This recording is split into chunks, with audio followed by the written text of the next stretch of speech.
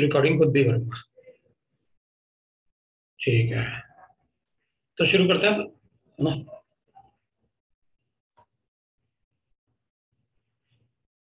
ठीक है।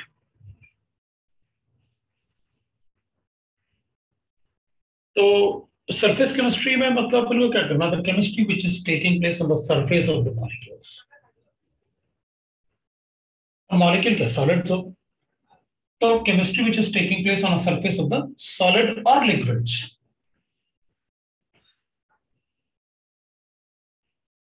केमिस्ट्री मतलब केमिकल रिएक्शन हो जाएगा taking place on the on surface of है ना on surface of solids and liquids. And liquid is called surface chemistry. अब होता क्या ना, जैसे सॉलिड पे कुछ गैसेस एब्जॉर्ब हो गए। हेट्रोजीनियस कैटलिस्ट में पढ़ा ना आपने। तो that is a surface chemistry absorption of gases of the charcoal that is also surface chemistry है ना? So that is also a surface chemistry right? तो सरफेस केमिस्ट्री का मतलब हो गया the chemistry which is taking place on the surface of solids और liquids the phenomena of the phenomenon of attracting and attracting the molecules and retaining on the surface of solid or liquid. Phenomena and retaining on the surface of solid or liquid, and retain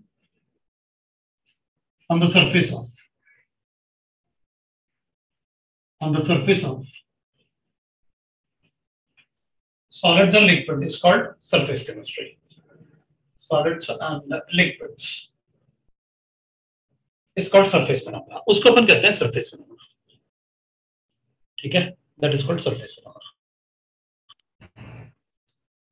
so that is called surface phenomena is called surface chemistry. तो अगर अपन example लिखेंगे कि भाई कुछ example लिख दो तो अपन कहेंगे इलेक्ट्रोलाइसिस में जो डिपोजिशन होता है ना इलेक्ट्रोड के सरफेस तो that is also surface chemistry electrolytic deposition deposition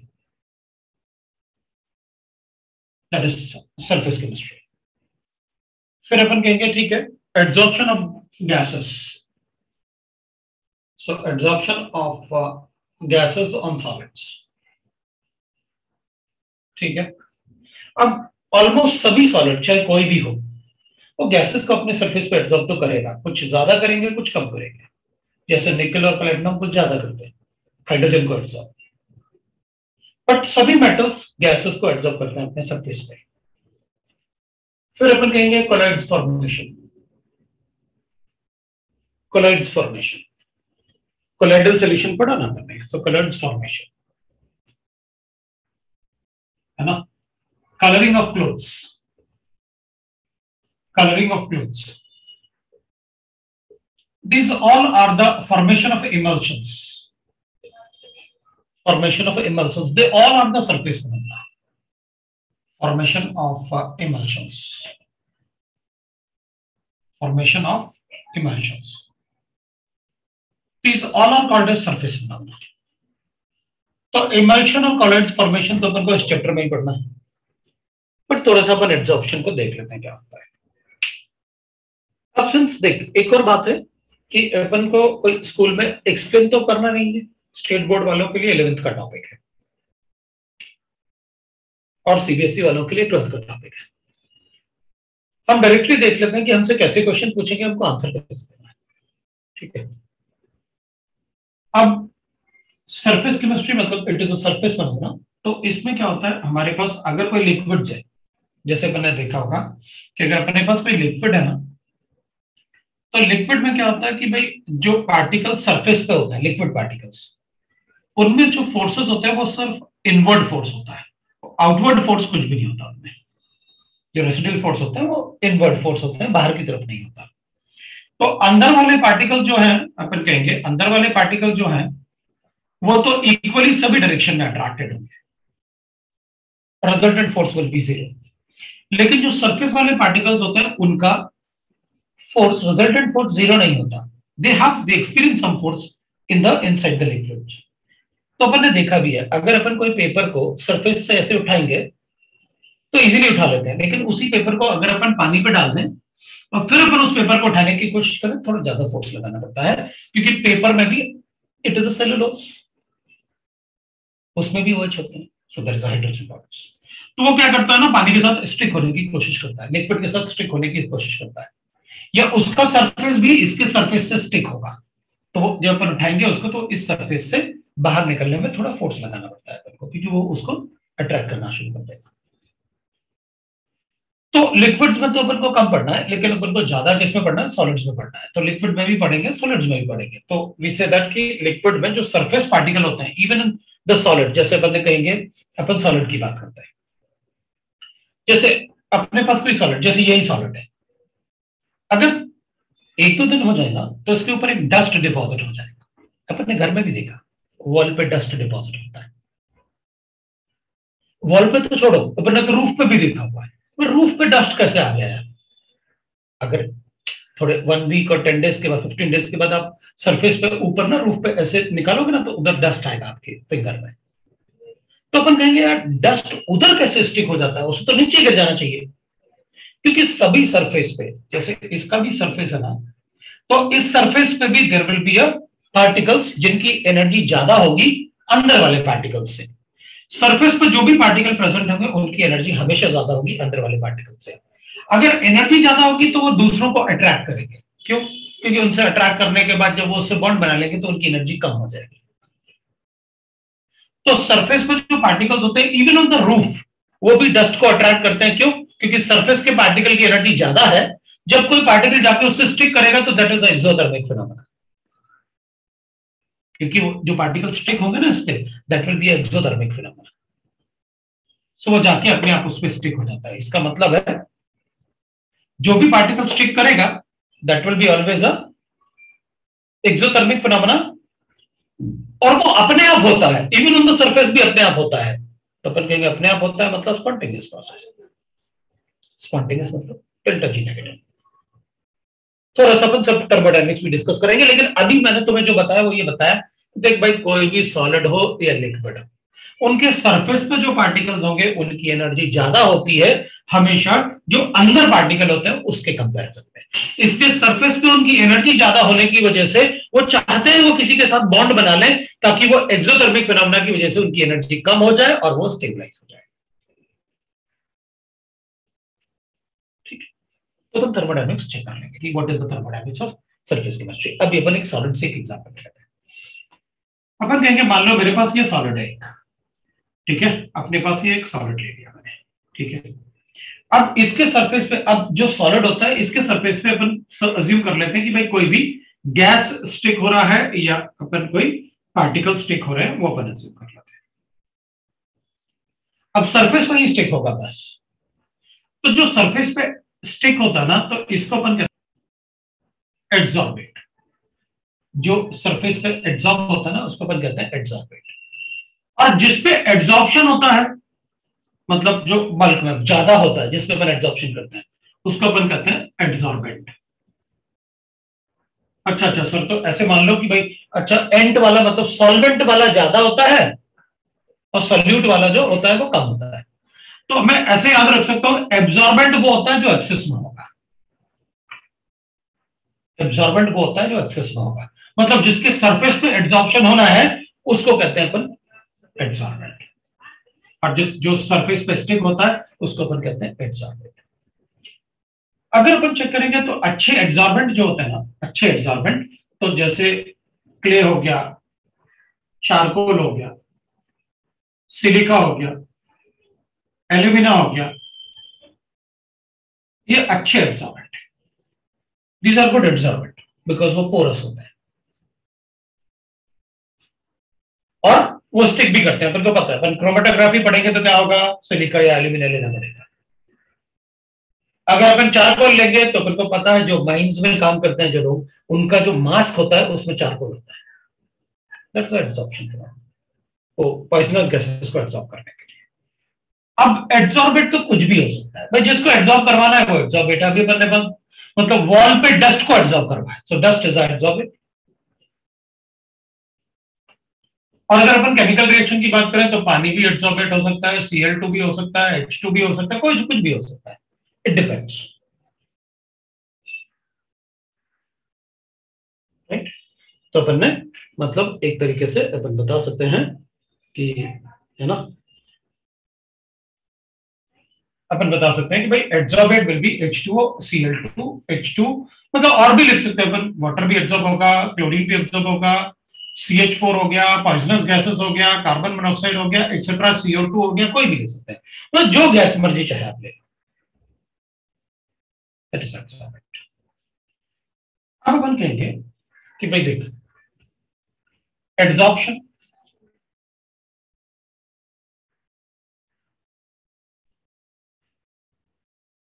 अपन को समझ में आ गया कि it is the particle which go and stick on the surface of the adsorbent. Absorption भी होता है। अगर अपन एब्जॉर्प्शन लिखेंगे ना सॉरी है excuse me absorption is a surface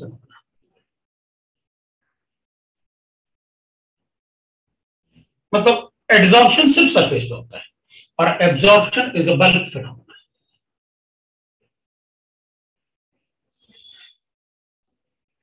इस सरफेस में भी होगा और एड्जॉर्बेंट के अंदर भी होगा एड्जॉर्ब सो so, मतलब इज़ अ बल्क फिनोमेना जैसे अपन कहेंगे देखो अपन को पता है अगर मेरे पास कोई लिक्विड है ना तो अपन कहेंगे उस लिक्विड में जो सरफेस से पार्टिकल्स एस्केप करते हैं ना दैट इज़ कॉल्ड इवेपोरेशन अगर पार्टिकल इधर अंदर से भी एस्केप कर रहे हैं तो then that is called vaporization vaporization is a bulk phenomena सभी जगह से पार्टिकल वेपर्स निकलेंगे.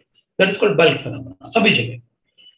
और surface phenomena that is evaporation evaporation is surface phenomena वो अंदर से नहीं होता, सिर्फ़ सरफेस से होता मतलब एब्जॉर्प्शन सिर्फ़ सरफेस पे होगा, बस।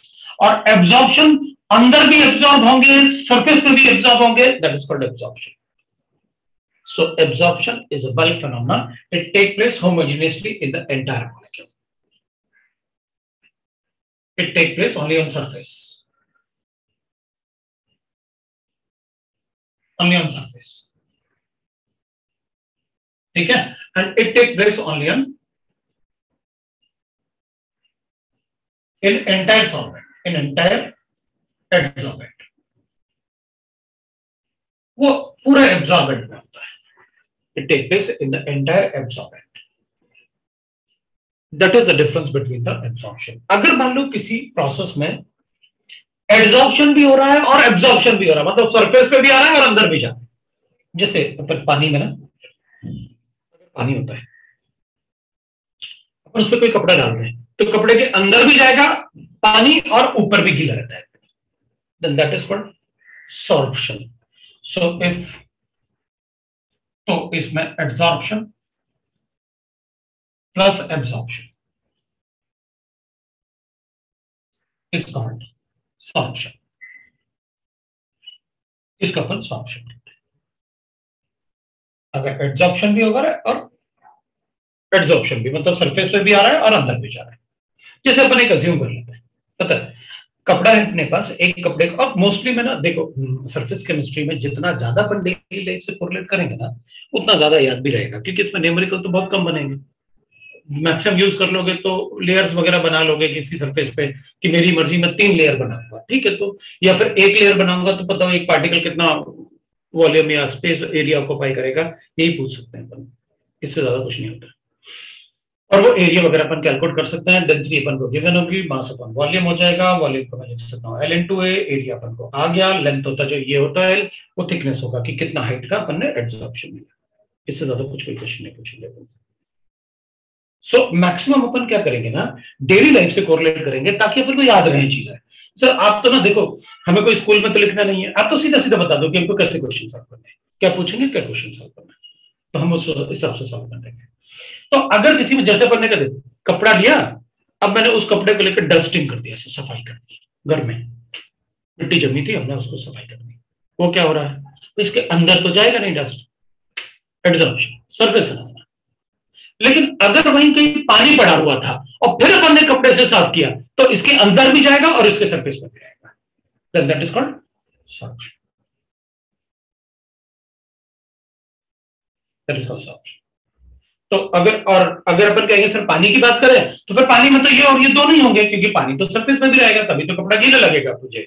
और अगर ऊपर रहेगा तो उसमें एब्जॉर्प्शन हो रहा है, अगर वो सरफेस पे है, और एब्जॉर्प्शन जो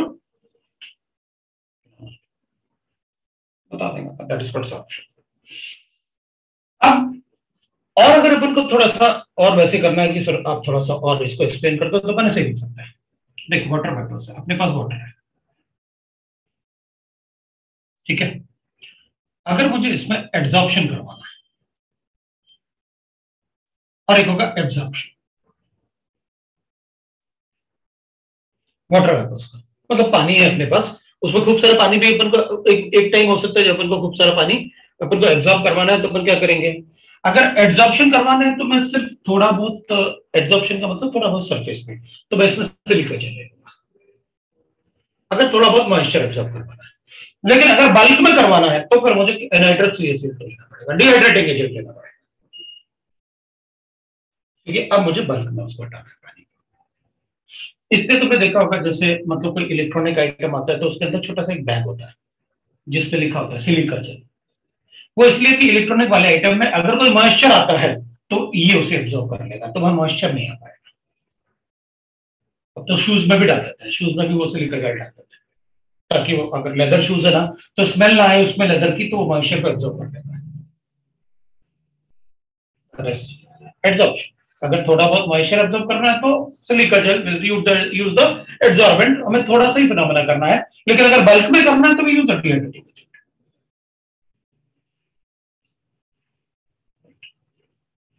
अब depending on the nature of क्योंकि भाई देखो एड्जॉर्प्शन में मैं केमिकल रिएक्शन भी बोल सकता हूँ, मैं फ़िज़िकल प्रोसेस भी बोल सकता हूँ, सिर्फ़ सरफेस पे। तो अपन कहेंगे adsorption depending on the nature of adsorption it can be classified into physical adsorption भी हो सकता है और केमिकल एड्जॉर्प्शन भी हो सकता है। तो अपन लिखेंगे depending on the nature of adsorption phenomena on the nature of adsorption phenomena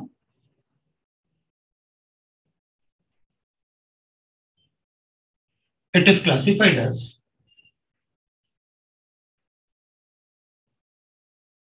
as physical adsorption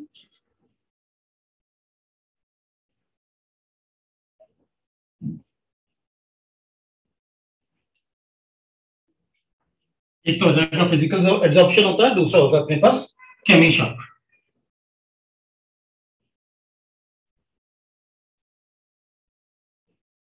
अब फ़िज़िकल एब्जॉर्प्शन में ना वीक फोर्सेस होते हैं। बस वो अट्रैक्शन होता है। एक एग्जांपल ले लेता हूँ absorption of gases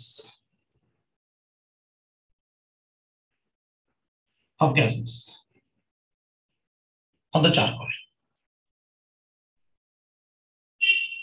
a physical absorption वहाँ कोई केमिकल बॉन्ड नहीं फॉर्म होता।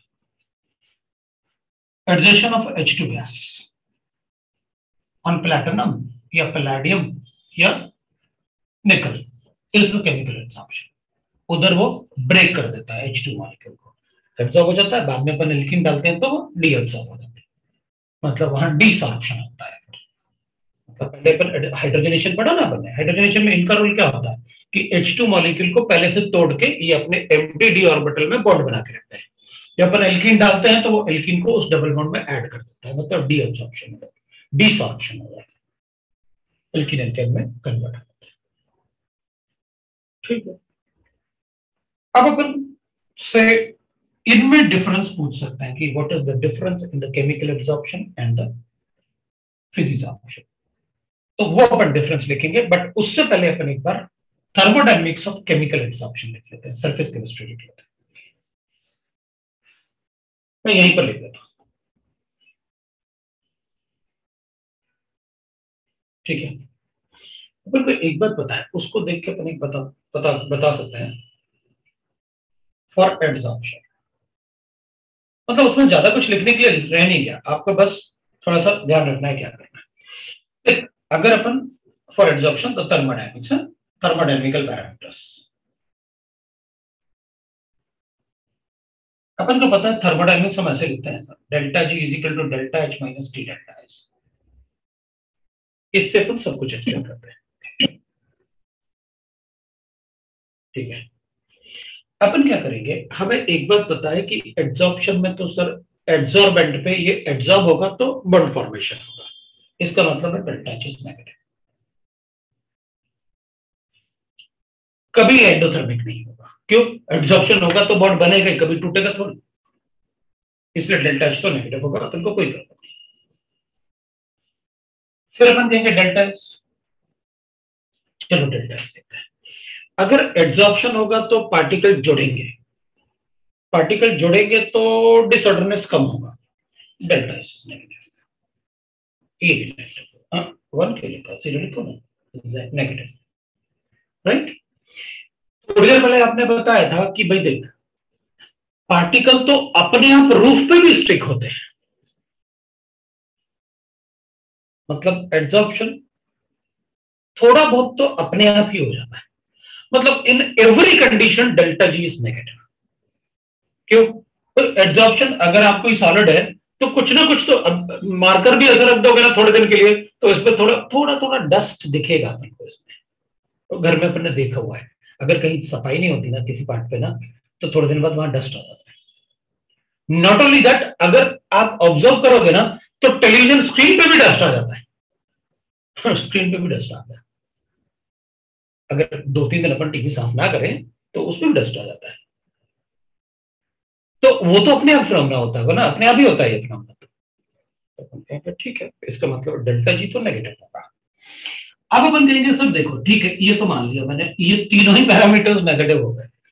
अब डेल्टा जी तो ये तो नेगेटिव होना चाहिए, क्योंकि वो स्पॉन्टेनियस प्रोसेस है। भाई ये भी नेगेटिव है ये भी नेगेटिव है। अगर ये नेगेटिव है तो ये वाला वैल्यू तो पॉजिटिव हो जाएगा। अगर ये नेगेटिव है डेल्टा एस तो ये वाला वैल्यू तो पॉजिटिव हो जाएगा। सो so, इसका मतलब ये हुआ कि ये वैल्यू पॉजिटिव तो होगा लेकिन इसका वैल्यू छोटा होगा डेल्टा एच के वैल्यू से। तभी डेल्टा जी नेगेटिव हो सकता है। है ना? तो अपन क्या करेंगे? इस इक्वेशन में value of T delta S is less than delta H right ना? तो आप टी डेल्टा एस का जो वैल्यू ये आप ऐसे कर दो ताकि अगर आपको कोई डाउट ना हो तो। अपन मॉड लगा देते हैं ताकि अपन मैग्नीट्यूड की बात कर रहे हैं अपन ये। लेकिन अपन को पता है मैग्नीट्यूड अगर लिखा होगा तो बात करेंगे। वरना अपने हिसाब से सोच के बताएँगे कि भाई अगर इस वैल्यू को नेगेटिव लाना है, और ये वाला पार्ट तो क्योंकि ये नेगेटिव है तो ये पॉजिटिव हो जाएगा, और ये नेगेटिव है, वो आपने लिखा है तो नंबर्स कैसे होने चाहिए ताकि डेल्टा जी नेगेटिव है वो अपन फिट कर लेंगे नंबर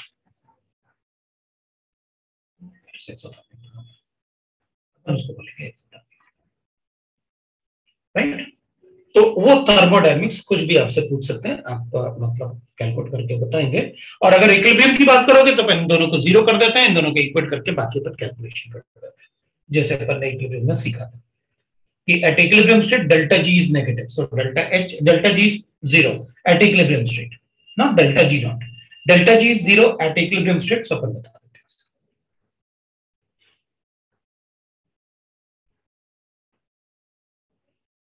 अब भाई, इधर तो पार्टिकल है, अगर सरफेस पे स्टिक होगा तो ऑब्वियसली बात है बॉन्ड बन रहा है तो एक्सोथर्मिक ही होगा।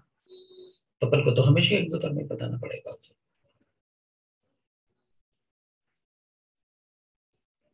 राइट सो अपन देखते हैं आगे। ठीक है?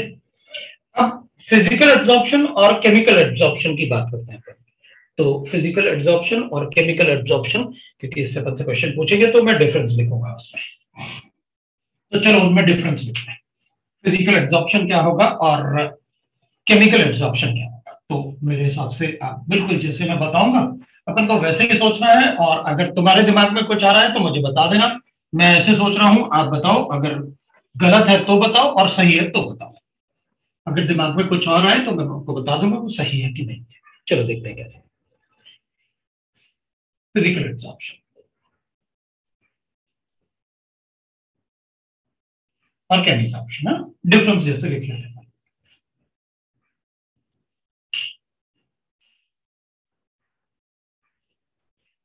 अब अपन फ़िज़िकल एब्जॉर्प्शन और केमी एब्जॉर्प्शन देखते हैं एक बार, है अपन क्या करेंगे? इसमें, क्योंकि फ़िज़िकल एब्जॉर्प्शन है वीक फोर्सेस इन्वॉल्व होते हैं इसमें। अब मैं इसको ऐसे कर देता हूँ। सब लोग घर में थोड़ा थोड़ा डस्टिंग करते हैं सफ़ाई करते हैं। मैं यहाँ पर क्या लिख लेता हूँ? फ़िज़िकल एब्जॉर्प्शन के लिए जितना भी एक्सप्लेनेशन दूँगा ना मैं यहाँ पर, वो इसी के बेसिस पे दूँगा।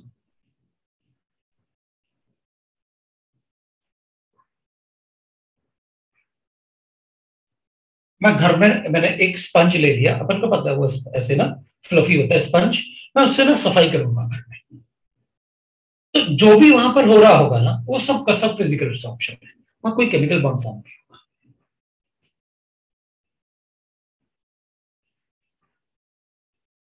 मुझे नहीं पता तुम में से कितनों ने मतलब कलरिंग होता कलर क्लोथ्स को कलर होते हुए देखा होगा। वैसे मार्केट में मिल जाता है। आप कभी जाके देख भी सकते हो। घर में मॉम को पूछ सकते हो कि मतलब कहीं का, उनको पता होगा कहाँ कलर होता है। आप सामने खड़े होकर देख भी सकते हो। वो कभी कभी अपना कुछ कुछ कपड़ा लेके जाती हैं मतलब घर में मॉम तो कलर करवाते हैं तो वो देख लेते हैं कि वो क्या, कैसे होता है कलर। आप कलरिंग ऑफ़ क्लोथ से देख सकते हैं। बिल्कुल एग्जैक्टली वही होने वाला है। अपन क्या करेंगे? अब डस्टिंग करूँगा तो ऑब्वियसली बात है, मैं उसको ऐसे हटा भी सकता हूँ। ऐसे क्या, मैं कपड़े से अगर डस्टिंग करूँगा तो डस्ट करने के बाद अपन हटा भी देते हैं मतलब उसमें जो फोर्सेस ऑफ़ अट्रैक्शन होते हैं, वो काफ़ी वीक होते हैं। सो अपन लिखेंगे that is it has weak very weak van der Waals forces van der Waals forces attraction मतलब अपन पहले फोर्सेस की बात कर लेते हैं। और इसमें strong chemical bonds are found strong chemical bonds are found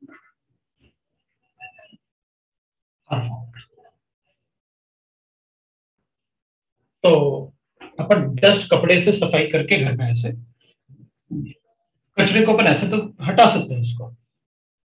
लेकिन अपन क्लोथ में ऐसा नहीं करते कि अच्छा ऐसे किया कपड़ा तो उसका कलर कर दिया नीचे। नहीं ऐसा नहीं होगा वो स्ट्रॉन्ग बॉन्ड्स होता है। ठीक है ना? सो so, अपन कहेंगे अब इसमें वीक फोर्सेस होता है। तो अपन वीक फोर्सेस में एनर्जी की बात कर रहे हैं। So, delta H is, इसमें 20 टू 40 किलो जूल्स पर डेल्टा एच नेगेटिव होगा। But energy liberated of this much जो वीक बॉन्ड है ना। Van der Waals forces are very weak forces ना? वंडरल जो होता है, वो काफ़ी वीक फोर्सेस होते हैं। इसमें अगर अपन बात करेंगे तो there will very strong forces है। So, delta H इसमें होगा strong forces तो delta H will be equal to, that is 80 to 240 kilo joule जितना एक केमिकल बॉन्ड बनाने के लिए, जितना डिपेंडिंग की केमिकल बॉन्ड बनाओगे तो अपन का पता है उसमें जो एनर्जी लिबरेट होगी, उतना एनर्जी यहाँ लिबरेट होना चाहिए। केमिकल बॉन्ड फॉर्मेशन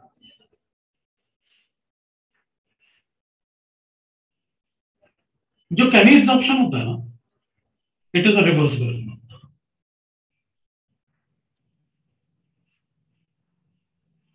reversible क्यों?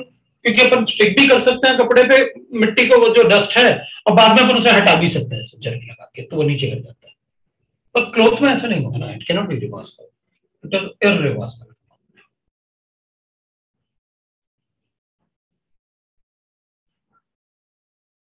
ठीक है?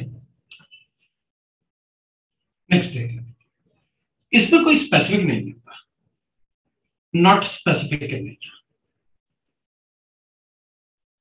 nature मतलब अपन क्या कर सकते हैं? वो स्पंज से अपन टीवी भी साफ़ कर सकते हैं टेबल भी साफ़ कर सकते हैं डोर भी साफ़ कर सकते हैं विंडो भी साफ़ कर सकते हैं, कुछ भी साफ़ कर सकते हैं। इसमें ऐसा नहीं होगा कि आप मतलब कलरिंग जो होता है, वो उसके लिए आपको अगर ग्रीन कलर करना है तो डिफरेंट कंडीशन होंगे। रेड करना है तो डिफरेंट कंडीशन होंगे। So that will be specific in nature specific in nature in nature. फिर अपन लिख लेंगे, इसमें ना multi molecular layer cell found molecular layer cell found multi molecular layers are found इसमें अपन ने लिखा नॉट स्पेसिफिक ना, उसमें स्पेसिफिक लिखा है। अरे एच दोनों में पॉजिटिव थोड़ी होगा, ये नेगेटिव लिखा तो एच एस नेगेटिव माइनस लिखूँगा?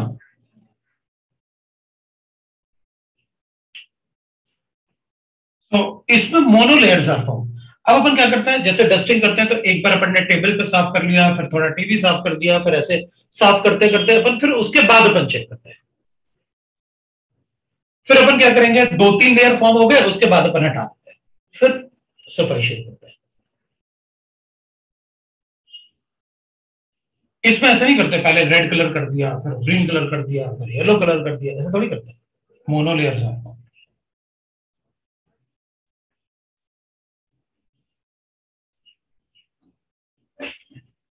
क्या पूछ रहे यार? नहीं एच के बारे में कोई कुछ पूछ रहा है। दोनों में एच एच प्लस होगा।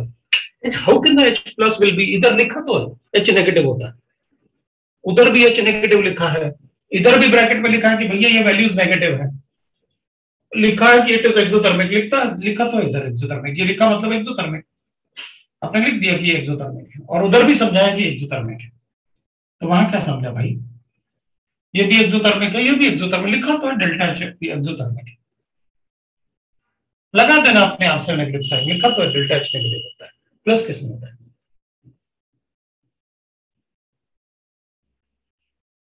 इट अब अपन कहेंगे सिक्स वाला, है ना? और किसी को कोई डाउट होगा तो भाई पूछ लेगा मतलब।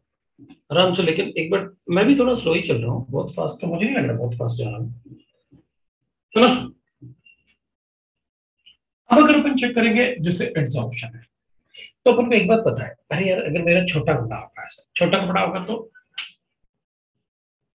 कम साफ़ कर पाऊँगा, बड़ा कपड़ा होगा तो मैं ज़्यादा साफ़ कर पाऊँगा मतलब it will depend on the surface so जो फिजिक्स ऑप्शन होगा that will be proportional to surface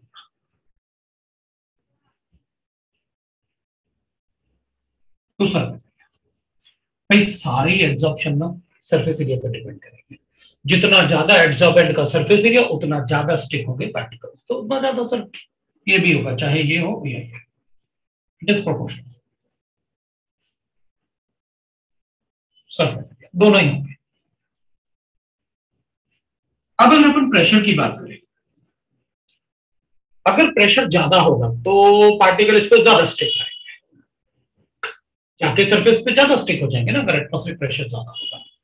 अगर प्रेशर ज़्यादा होगा तो पार्टिकल ज़्यादा स्टिक कर लेंगे। प्रेशर कम होगा तो अगर पार्टिकल पे प्रेशर नहीं लगेगा तो नीचे गिर जाएगा।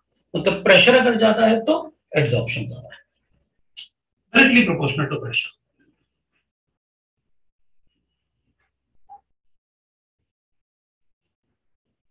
directly proportional to pressure वो तो ये भी होना चाहिए, चाहे ये हो या ये हो। अगर प्रेशर ज़्यादा होगा तो पार्टिकल को अपन ज़्यादा स्टिक करवा पाएँगे। जितना ज़्यादा प्रेशर अप्लाई करेंगे, उतना ज़्यादा स्टिक होगा पार्टिकल प्रेशर कम होगा तो ये पार्टिकल सरफेस से एडजॉर्बेंट से गिर जाएगा। Proportional to pressure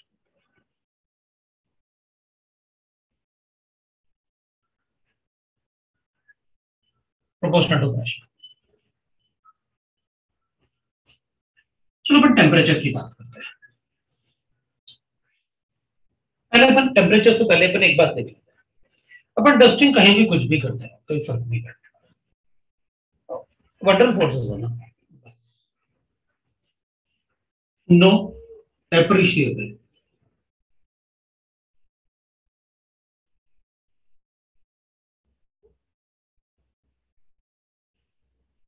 EA is required.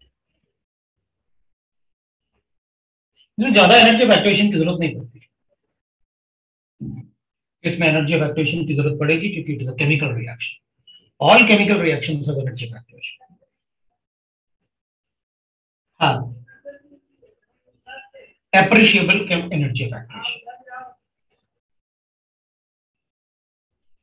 ये। इसका मतलब हुआ कि अगर मैं ये प्रोसेस करूँगा तो मुझे ज़्यादा एनर्जी इवैक्यूएशन की ज़रूरत नहीं है। एक्सोथर्मिक तो है। एनर्जी इवैक्यूएशन ज़्यादा नहीं है। लेकिन इसमें एनर्जी इवैक्यूएशन ज़्यादा होगा कैसे?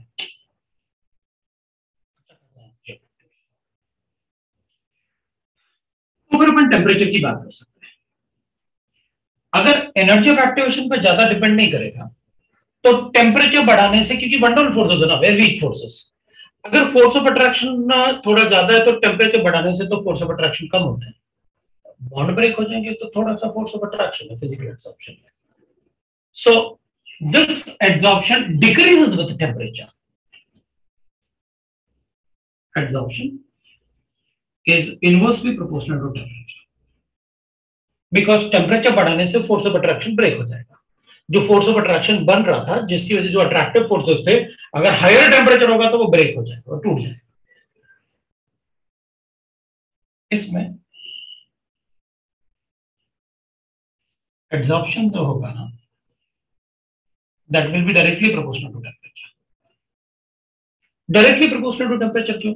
क्योंकि अपन को पता है टेम्परेचर बढ़ाने से अगर एनर्जी ऑफ़ एक्टिवेशन अप्रिशिएबल है तो टेम्परेचर बढ़ाने से रेट ऑफ़ रिएक्शन बढ़ता है। ये टी वन पे था। ये टी टू पे। टी वन पे मुझे यहाँ से लेके यहाँ तक एनर्जी चाहिए थी। That is energy of activation T two पे यहाँ से लेके यहाँ तक चाहिए। तो energy of activation T two पे कम होगा। तो उसका मतलब है टेम्परेचर बढ़ाने से रेट ऑफ़ रिएक्शन बढ़ेगा। That is a chemical reaction वो केमिकल रिएक्शन नहीं कर रहा there is only partial electrostatic there is a van der Waals attraction वो बहुत वीक होता है। टेम्परेचर थोड़ा सा भी बढ़ाओगे तो वो कम हो जाएगा। सो एड्जॉर्प्शन हमेशा फ़िज़िकल एड्जॉर्प्शन जो होगा फ़िज़िकल एड्जॉर्प्शन वो हमेशा टेम्परेचर बढ़ाने से कम होगा। ये कम तभी होगा जब अपन इतना कम से कम टेम्परेचर कर लें कि ये ऑलमोस्ट इंडिपेंडेंट आ जाए इससे। क्योंकि और टेम्परेचर बढ़ाऊँगा टी थ्री तो ये इधर आ जाएगा। इधर आएगा तो फिर अप्रिशिएबल नहीं होगा ना एनर्जी एक्टिवेशन फिर उस केस में तो बॉन्ड ही ब्रेक होना शुरू हो जाएगा। तो ये तब तक तो अप्रिशिएबली डिपेंड करेगा ना टेम्परेचर पे, जब तक कि एनर्जी ऑफ़ एक्टिवेशन कम हो रहा है। अगर एनर्जी एक्टिवेशन तो नेग्लिजिबल हो गया, जैसे इसमें था, अगर वैसा हो गया तो फिर इसमें भी डिक्रीज होना शुरू हो जाएगा। लेकिन हम तो इनिशियली मानेंगे भाई केमिकल बॉन्ड बनाना है। तो केमिकल बॉन्ड जब बनाते हैं तो अपन बॉन्ड ब्रेक होते हैं, या ट्रांजिशन स्टेट बनेगा तो एक अप्रिशिएबल एनर्जी ऑफ़ एक्टिवेशन होगा। जब टेम्परेचर बढ़ाते बढ़ाते, वो एनर्जी ऑफ़ एक्टिवेशन नेग्लिजिबल आ जाएगा ना तो उसके बाद ये भी डिक्रीज होना शुरू हो जाएगा टेम्परेचर बढ़ाने से। सो दैट्स व्हाई वो अपन थोड़ा टेम्परेचर का ध्यान रखेंगे कि अपन को टेम्परेचर में क्या करना चाहिए। तो अपन कहेंगे, इसमें लो टेम्परेचर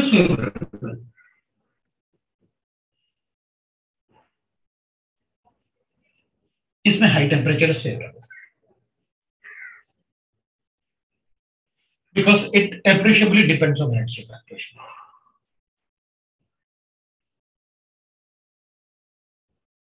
इसमें अपन हाई टेम्परेचर को फेवरेबल बनेंगे तो अब अपन कहेंगे,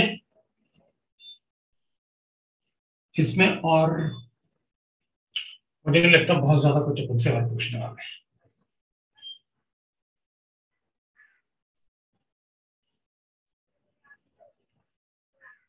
मोस्टली तो इन दोनों से ही क्वेश्चन पूछता है, लेकिन अपन से ये वाले पार्ट भी पूछ सकते हैं। इनसे नहीं पूछ सकते, मैं ऐसे नहीं बोल सकता।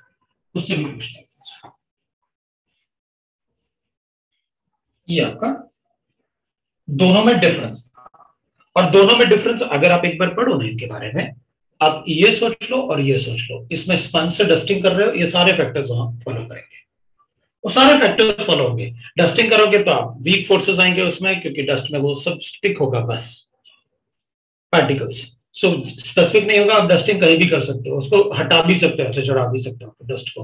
अपन फिर मल्टी मोलिकुलर लेयर क्योंकि अपन यहाँ भी सफ़ाई करेंगे, यहाँ भी करेंगे, वहाँ भी करेंगे तो मल्टी लेयर्स बनते हैं। लेकिन जैसे जैसे नंबर ऑफ़ लेयर बढ़ेंगे, वो लेयर जो दूर होगा सरफेस से एड्जॉर्बेंट से, उस पर लेयर उसका अट्रैक्शन टू द एड्जॉर्बेंट कम होता जाएगा। वो तो वो अपन फैक्टर्स लिखते हैं।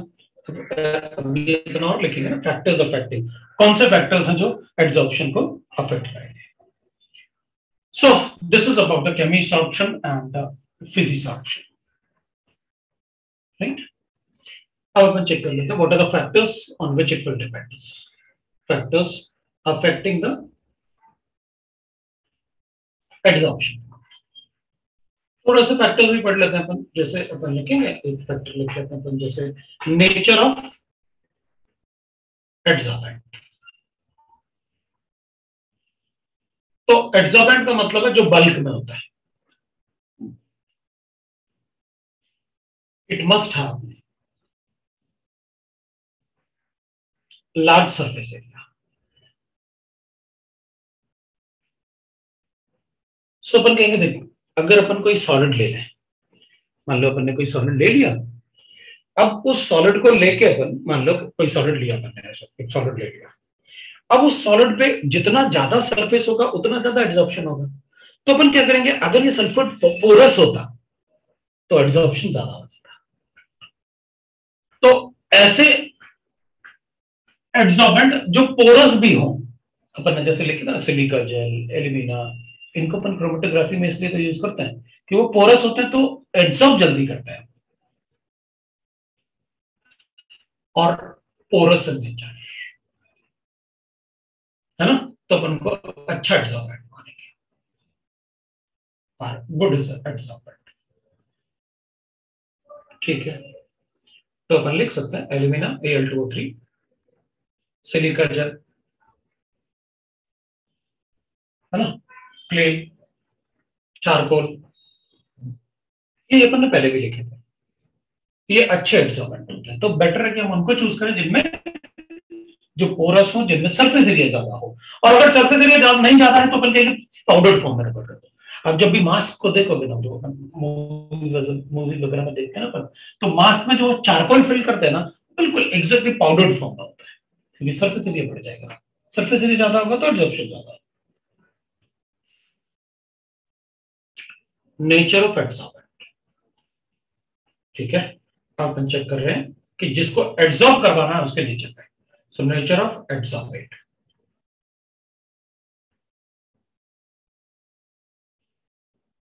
पता इसको अपन कैसे एक्सप्लेन कर सकते हैं? राइट ना? सो लिख सकते हैं। Easily liquefiable gases.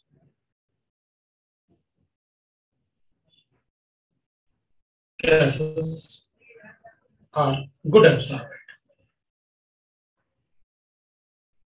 जो इजीली लिक्विडेबल गैसेस होते हैं ना they are good adsorbent adsorbent तो अपन कहेंगे सर आप सीधे लिख दो ना कि adsorption will be directly proportional to the value of A, Van der Waals constant.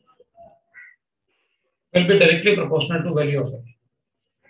जिसका वैल्यू ऑफ़ ए ज़्यादा होगा, अपन को पता है they are easily liquidable gases जिसके लिए वैल्यू ऑफ़ ए ज़्यादा होगा, वो इजीली लिक्विफाई होगा, उसका टीसी भी ज़्यादा होगा क्रिटिकल टेम्परेचर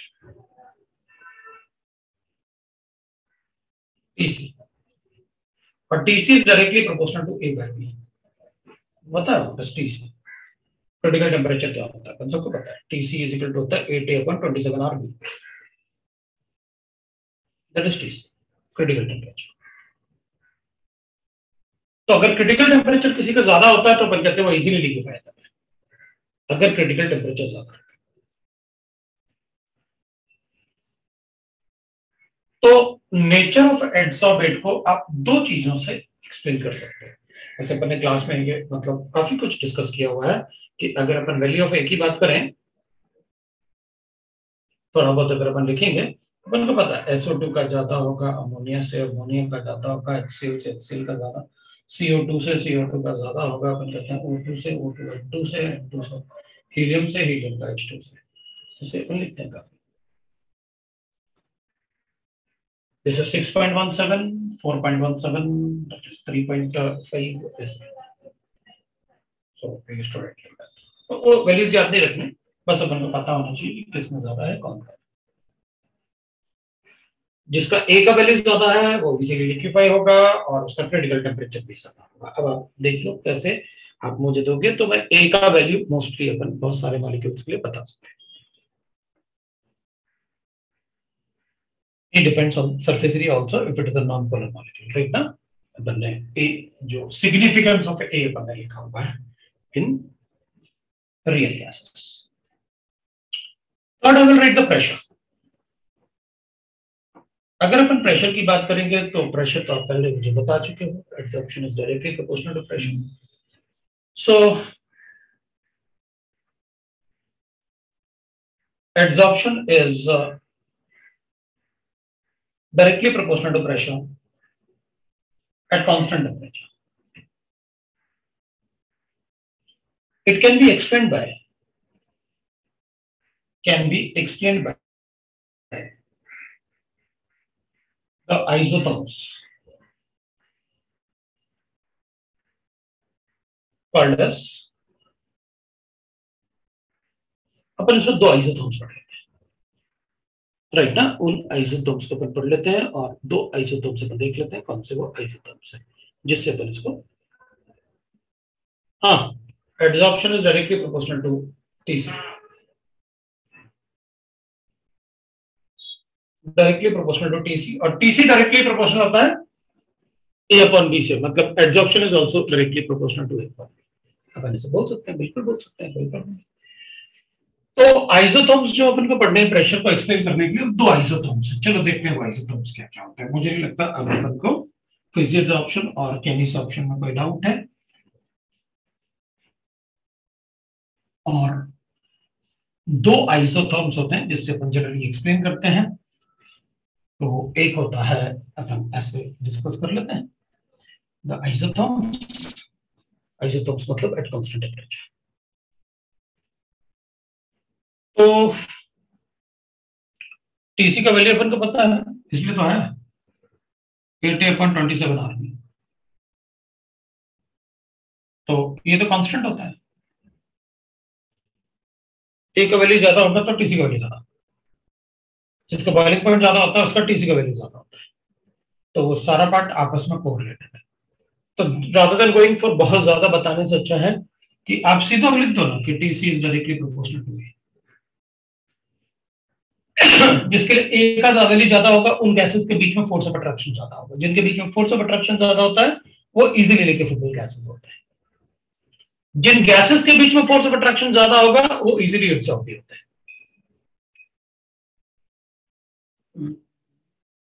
एग्ज़ाम्पल भी लिख सकते थे मतलब ऐसे ना।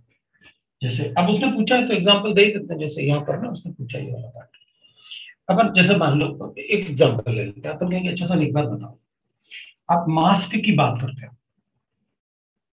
चारकोल मास्क में चारकोल होता है।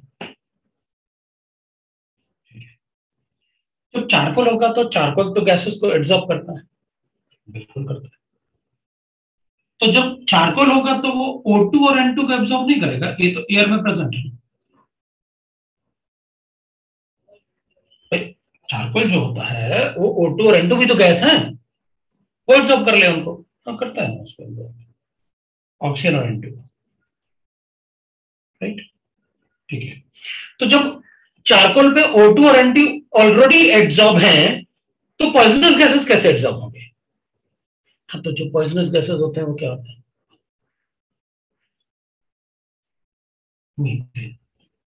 ये पॉइजनस गैसेस होते हैं। ये पॉइजनस गैसेस होते हैं। अब इनका सरफेस एरिया बड़ा होता है।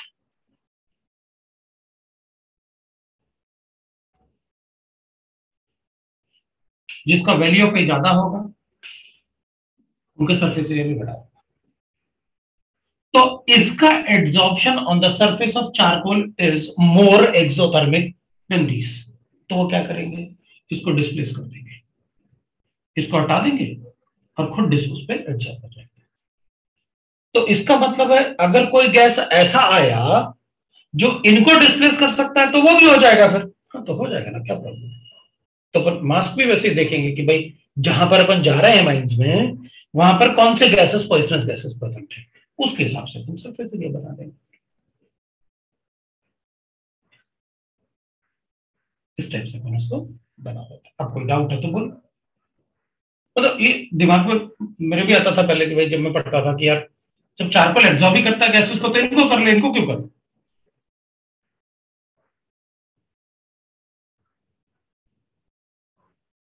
तो बनने का नहीं, भाई ये छोटे हैं, इनके सरफेस एरिया कम है, इनका van der Waals forces of the charcoal is less इनका ज़्यादा। तो इनका ए का वैल्यू ज़्यादा है, इसलिए इनका force of attraction with the charcoal will be more तो ये क्या करेंगे? गैसेस इसको हटा के खुद चारकोल पर एब्जॉर्ब हो जाएँगे। तो मास्क में वो एब्जॉर्ब हो जाएँगे। तो पॉइजनस गैसेस अपने अंदर नहीं जाएँगे। अपने अंदर से वो गैसेस जा सकते हैं जो चारकोल पर एब्जॉर्ब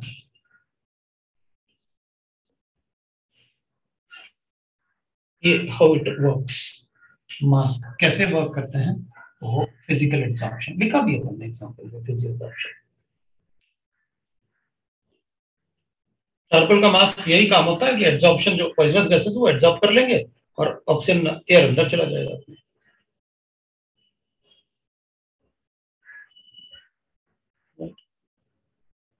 इससे मतलब मतलब मास्क लगा के रखा हुआ है तो पॉइजनस गैसेस उसमें, जो चारकोल है, उसमें एब्जॉर्ब हो जाएँगे और वो ऑप्शन को अंदर जाने देगा।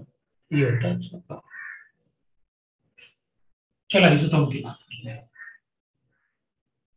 एक होता है आइसोटोप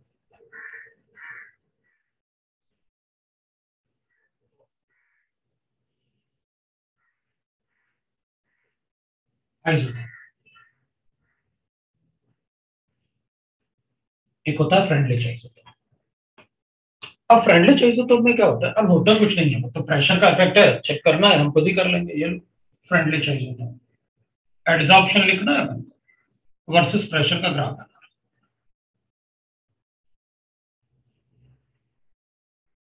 मैं एड्जॉर्प्शन को एक्स बाय एम के फॉर्म में लिखूँगा। तो जो एड्जॉर्प्शन जैसे जैसे प्रेशर बढ़ेगा एड्जॉर्प्शन बढ़ेगा, लेकिन एक टाइम आपके प्रेशर कांस्टेंट हो गया तो एड्जॉर्प्शन भी कांस्टेंट हो जाएगा, ऐसे ग्राफ आता है। मतलब किसी सरफेस पे शुरू में क्या होगा? पार्टिकल पहले एड्जॉर्ब होते जाएँगे और एड्जॉर्ब होते जाएँगे लेयर्स बनते जाएँगे और एक टाइम आएगा जब एड्जॉर्प्शन बंद हो जाएगा। क्योंकि इधर वाला लेयर जो होगा वो थोड़ी अट्रैक्टेड होगा। भाई एक दो लेयर एड्जॉर्ब होंगे, दो तीन हो जाएँगे, उससे ज़्यादा लेयर थोड़ी एब्जॉर्ब होंगे। तो जैसे जैसे आप प्रेशर बढ़ाओगे पार्टिकल स्टिक होते गए स्टिक होते गए स्टिक होते गए, वो उधर आ जाएगा। और फिर उसके बाद स्टिक होना बंद हो जाएगा तो फिर अपन क्या करते हैं, जैसे डस्टिंग करते हैं। फिर एब्जॉर्प्शन की बात करें। अपन ने डस्ट किया। एक लेयर आ गया, दूसरी जगह फिर डस्टिंग किया, दूसरा लेयर आ गया थर्ड जगह फिर डस्टिंग किया थर्ड लेयर आ गया। तो अपन कहेंगे, देखो सर इधर first layer second layer third layer first layer का अट्रैक्शन ज़्यादा होगा सेकेंड वाले से। सेकेंड का अट्रैक्शन ज़्यादा होगा थर्ड वाले से। उसके बाद क्या होगा फोर्थ लेयर बनना बंद हो जाएगा। मतलब फिर अपन को लगेगा, अरे डस्टिंग कर रहे हैं तो मतलब मिट्टी तो रह जा रही है। तो अपन क्या करते हैं, फिर उसे हटा तो वहाँ पर फ़र्स्ट लेयर का थोड़ा बहुत पार्ट तो उसमें स्टिक रहता है, बाकी दो लेयर जो है वो गिर जाएँगे नीचे। क्यों? उनका attraction to the cloth is less तो अपन कहा, जैसे जैसे अगर आप प्रेशर बढ़ाओगे तो प्रेशर बढ़ने से फ़र्स्ट लेयर भी अट्रैक्ट होगा और सेकंड लेयर का भी अट्रैक्शन बढ़ेगा। तो प्रेशर बढ़ाने से लेयर ज़्यादा स्टिक हो जाएँगे ना उस पर सरफेस ऑफ़ द एब्जॉर्बेंट पे। तो प्रेशर बढ़ाने से एब्जॉर्प्शन बढ़ता है, अगर टेम्परेचर कांस्टेंट है, अपन इसको टी बनने देते हैं। अगर मैंने टेम्परेचर बढ़ा दिया तो? हम कहेंगे टेम्परेचर बढ़ाओगे तो एब्जॉर्प्शन कम हो जाएगा, क्योंकि टेम्परेचर बढ़ाने से इसका जो अट्रैक्शन है ना एब्जॉर्बेंट में वो कम हो जाएगा। इसका मतलब है टेम्परेचर बढ़ाने से जो ग्राफ है मेरा वो ऐसा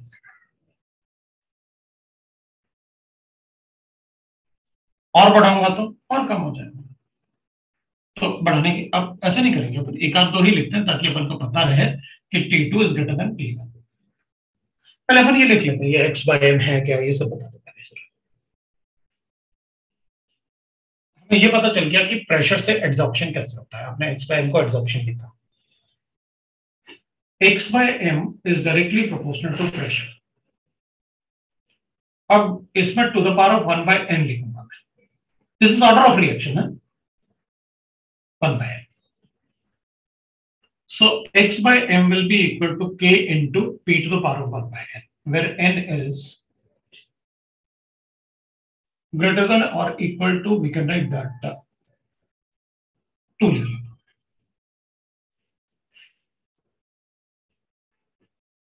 ये इक्वेशन बना मेरे पास सर दोनों ओरिजिन से पास हो रही है हाँ दोनों लाइन ओरिजिन से पास हो रही है So x is mass of gas adsorbed.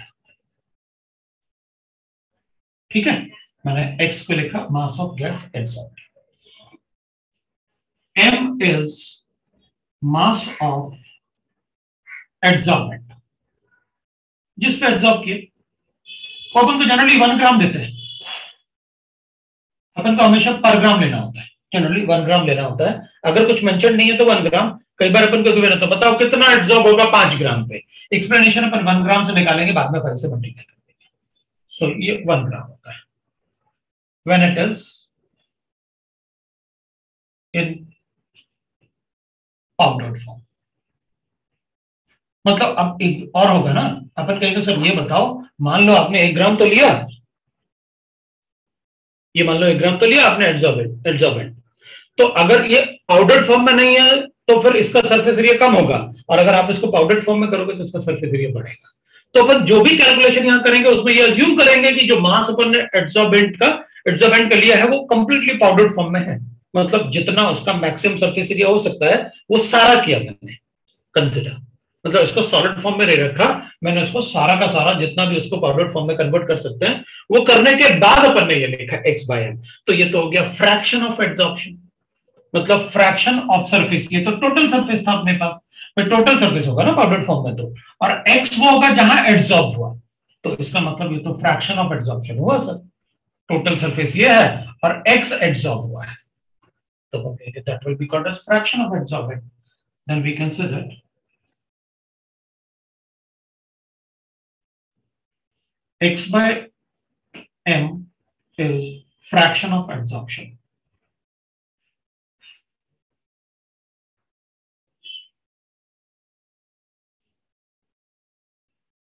मैं इसको ऐसे भी लिख सकता हूँ। वैसे इतना ज़्यादा पूछेंगे नहीं अपन से थोड़ा बहुत ही पूछेंगे। मैं इसको ऐसे भी लिख सकता हूँ एक्स बाय एम तो अपन लिख सकते हैं on taking log on both side log on both side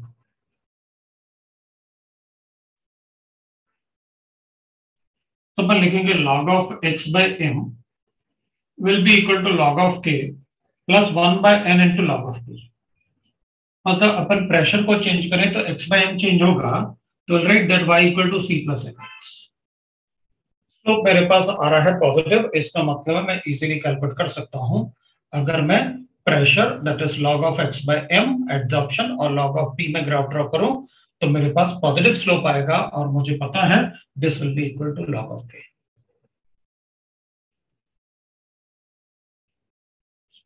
और slope one by n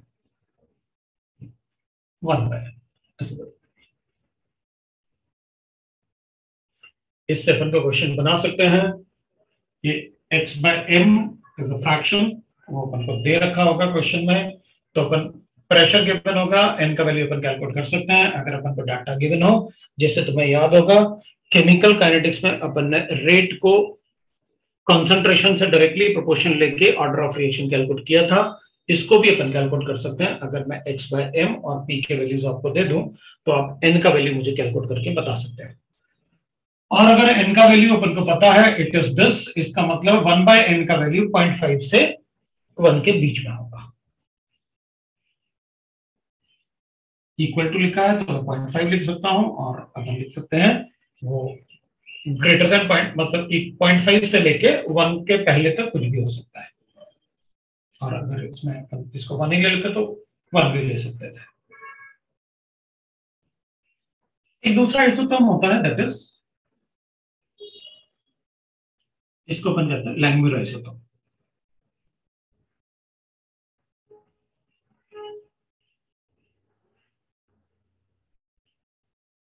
इसमें थोड़ा सा और ये मतलब एक्सप्लेनेशन देता है और जनरली ये, इसमें तो ये फिजियो एब्जॉर्प्शन की बात करता है क्योंकि इसमें लेयर वगैरह के बारे में कोई एक्सप्लेनेशन नहीं है। आप एक से ज़्यादा लेयर भी अज्यूम कर सकते हो।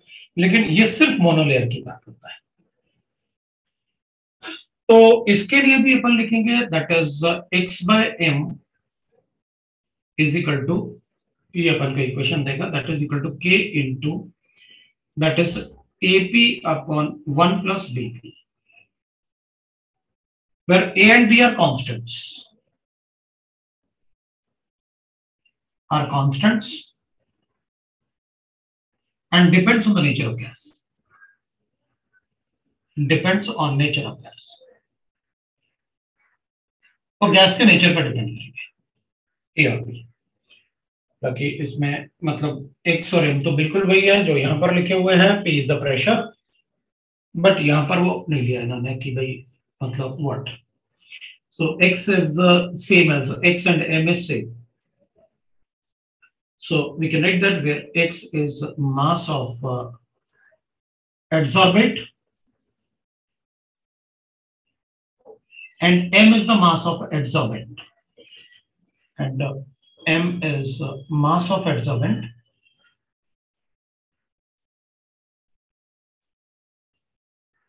in uh, adsorbent one gram ले लेते हैं ये अपन को or P is the pressure, AB are constant, depends on the nature of gas, and P is the pressure of gas. Of gas. इसमें अपन इसमें भी ऐसे लिख लेंगे भाई x बाय एम और p तो ग्राफ तो वही रहेगा टेम्परेचर टी पे टेम्परेचर चेंज करोगे तो वैसे ही चेंज होगा बट इसमें इसमें कुछ अजम्पन दिए थे अपन को। इसलिए अपन क्या बोलते हैं कि ये वाला जनरली कैनी एग्जॉप्शन के ग्राफ हो जाते हैं। वो ए और बी यहाँ पर जो ए और बी हैं they are not van der Waals constant आप क्लियरली लिख लेना। और नॉट वंडरवॉल कांस्टेंट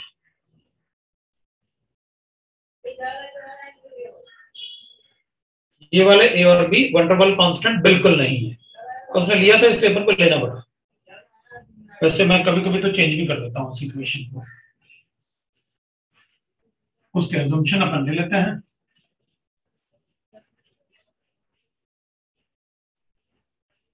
उसके क्या अजम्पशन है वो देख लेते हैं। लैंग्वेज ने क्या अजम्पशन दिए थे वो देख लेते हैं assumption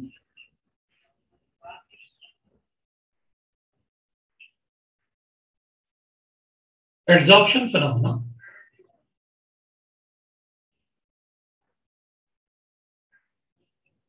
take place at moderate pressure.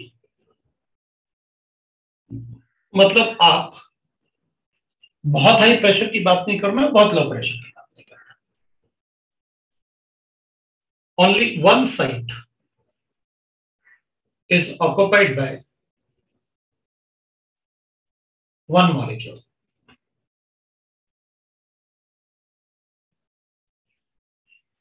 ठीक है? Only monolayer is form of the surface surface adsorption of molecule of molecule is independent of. Adsorption of molecule is independent of the nearby site. मतलब जो nearby sites है ना, उसमें जो particle present हैं, उससे इंडिपेंडेंट अज्यूम करके अपन को अज्यूम करना कि एक एक पार्टिकल एक एक साइड पे एड्जॉर्ब होगा सराउंडिंग पार्टिकल का उस पर कोई इफ़ेक्ट नहीं होगा, एक ही लेयर फॉर्म होगा और मॉडरेट प्रेशर पे होना चाहिए, ये इसके अजम्पशन है। तो अपन कहेंगे, ये सारे अजम्पशन तो केमिकल एग्जॉर्प्शन के होते हैं। For above reasons we can say that that this adsorption as follows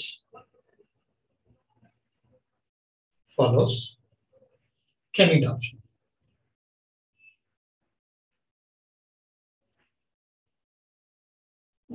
जबकि ये वाले में इतना अजम्पशन नहीं दिया था उसने। मोनो मल्टी भी फॉर्म कर सकते हैं। तो कभी अगर डिफ्रेंशिएट करने के लिए आए ना तो आप बता देना कि ये फ़िज़िकल एब्जॉर्प्शन को फॉलो करता है, वो केमिकल एब्जॉर्प्शन को फॉलो करता है।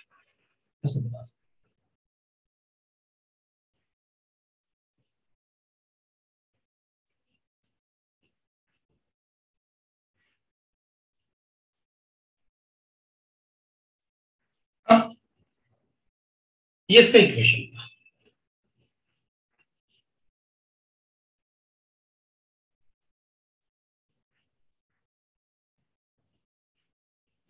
is penetration.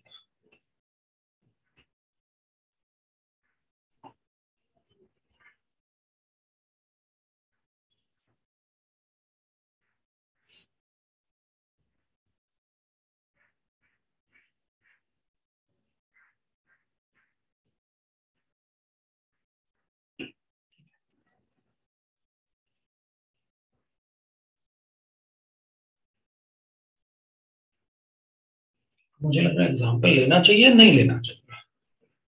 एग्ज़ाम्पल लूँगा तो पूरा काइनेटिक्स वापस रिवर्स वो पढ़ाना पड़ेगा। और okay hydrogenation of the reaction ले लो हाइड्रोजनेशन क्योंकि केमी एब्जॉर्प्शन होता ही है। थोड़ी देर पहले आपने बताया था हाइड्रोजन का absorption of the platinum palladium palladium जो होता है वो क्योंकि वो पूछेंगे तो है नहीं पूछेंगे नहीं तो क्यों फालतू में करना है? What I am thinking is किसी भी रिएक्शन का रेट होता है ना मैं एक शॉर्ट में बता रहा हूँ कि मतलब जो मैं काफ़ी डिटेल में पूरा बोर्ड भरता हूँ rate of reaction is directly proportional to the fraction of site absorb by the gases absorb by gases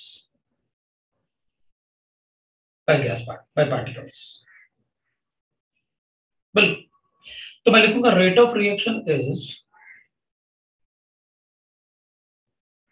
directly proportional to x by m. और x by m, that is equal to आपने देख रखा है k into ap divided by 1 plus p. bp तो मैं rate of reaction will be directly proportional to this ना फिर तो। तो अब अगर अपन गैस से डील करेंगे तो रेट ऑफ़ रिएक्शन क्या लिखेंगे? अपन लिखेंगे डीपी अपॉन डी है ना? Minus dp upon d t is equal to k into ap upon one plus t अपन कहेंगे एट वेरी हाई प्रेशर तो अपन कहेंगे एबीपी है। अगर मान लो अपन ने कहा वेरी हाई प्रेशर तो अपन कहेंगे ये छोटा एट वेरी हाई प्रेशर ये नेग्लेक्ट कर देंगे, इसको लिख लेंगे। मतलब फिर मैं ऐसे लिख लेता, थोड़ा सा यहाँ से यहाँ लिख देता हूँ ना? इसको डालना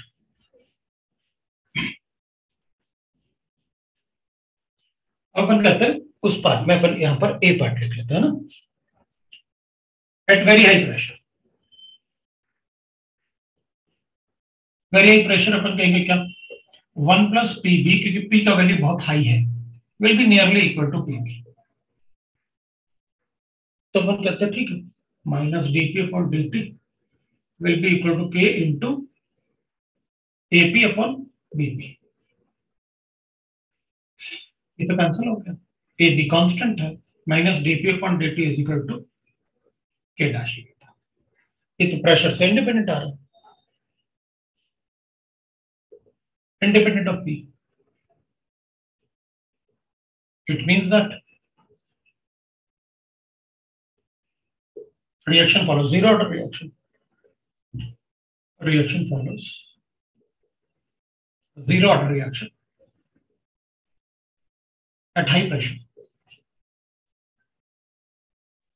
मतलब reaction zero order reaction follow करेगा हाई प्रेशर और ये हाइड्रोजनेशन ऑफ़ एल्कीन की बात कर रहा है एल्काइंस मतलब मैं अगर एग्जांपल लेता तो वही लेता मैं। आपको वापस लिख के बताता, देखो हाइड्रोजनेशन ये है अपन जैसे पढ़ रखा है। एग्जांपल में हाइड्रोजनेशन ऑफ़ एल्कीन्स एल्किन और एल्काइन का जो हाइड्रोजनेशन होता है, वो H2NI के प्रेजेंस में it follows zero order kinetics तो हाइड्रोजनेशन जो होता है ना that follows zero order kinetics because upon high pressure पे निकल कंटेनर में हाइड्रोजन को एब्जॉर्ब करवाते हैं, बाद में डी एब्जॉर्ब करवाते हैं। It follow zero order kinetics अगर अपन करें, चलो ठीक है, फिर लो प्रेशर की बात करते हैं। At low pressure low pressure का मतलब है कि फिर बीपी मतलब छोटा होगा।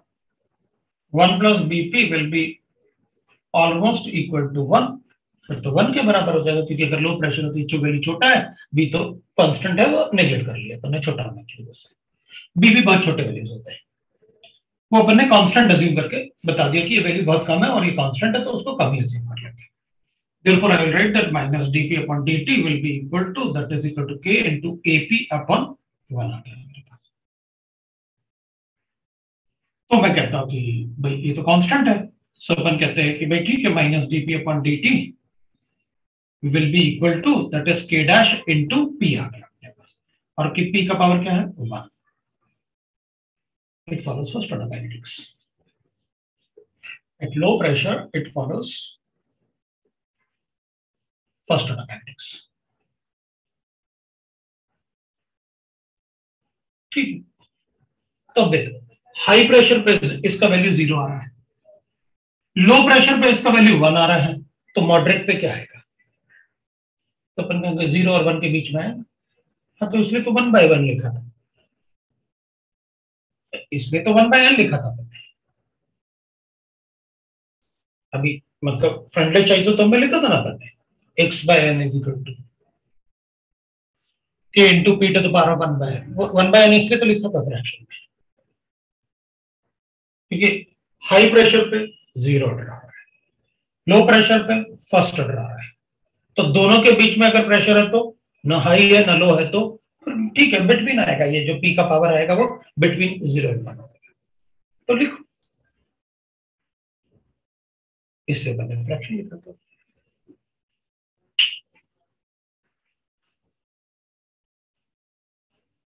राइट ना? दैट वाज द रीजन मतलब अपन ने वो ज़ीरो और वन ऐसे क्यों लिखा था? so at high pressure at high pressure one by n अकन को जीरो आ रहा है at low pressure one by n equal to one आ रहा है therefore at moderate pressure pressure 1 by n will be equal to 0 to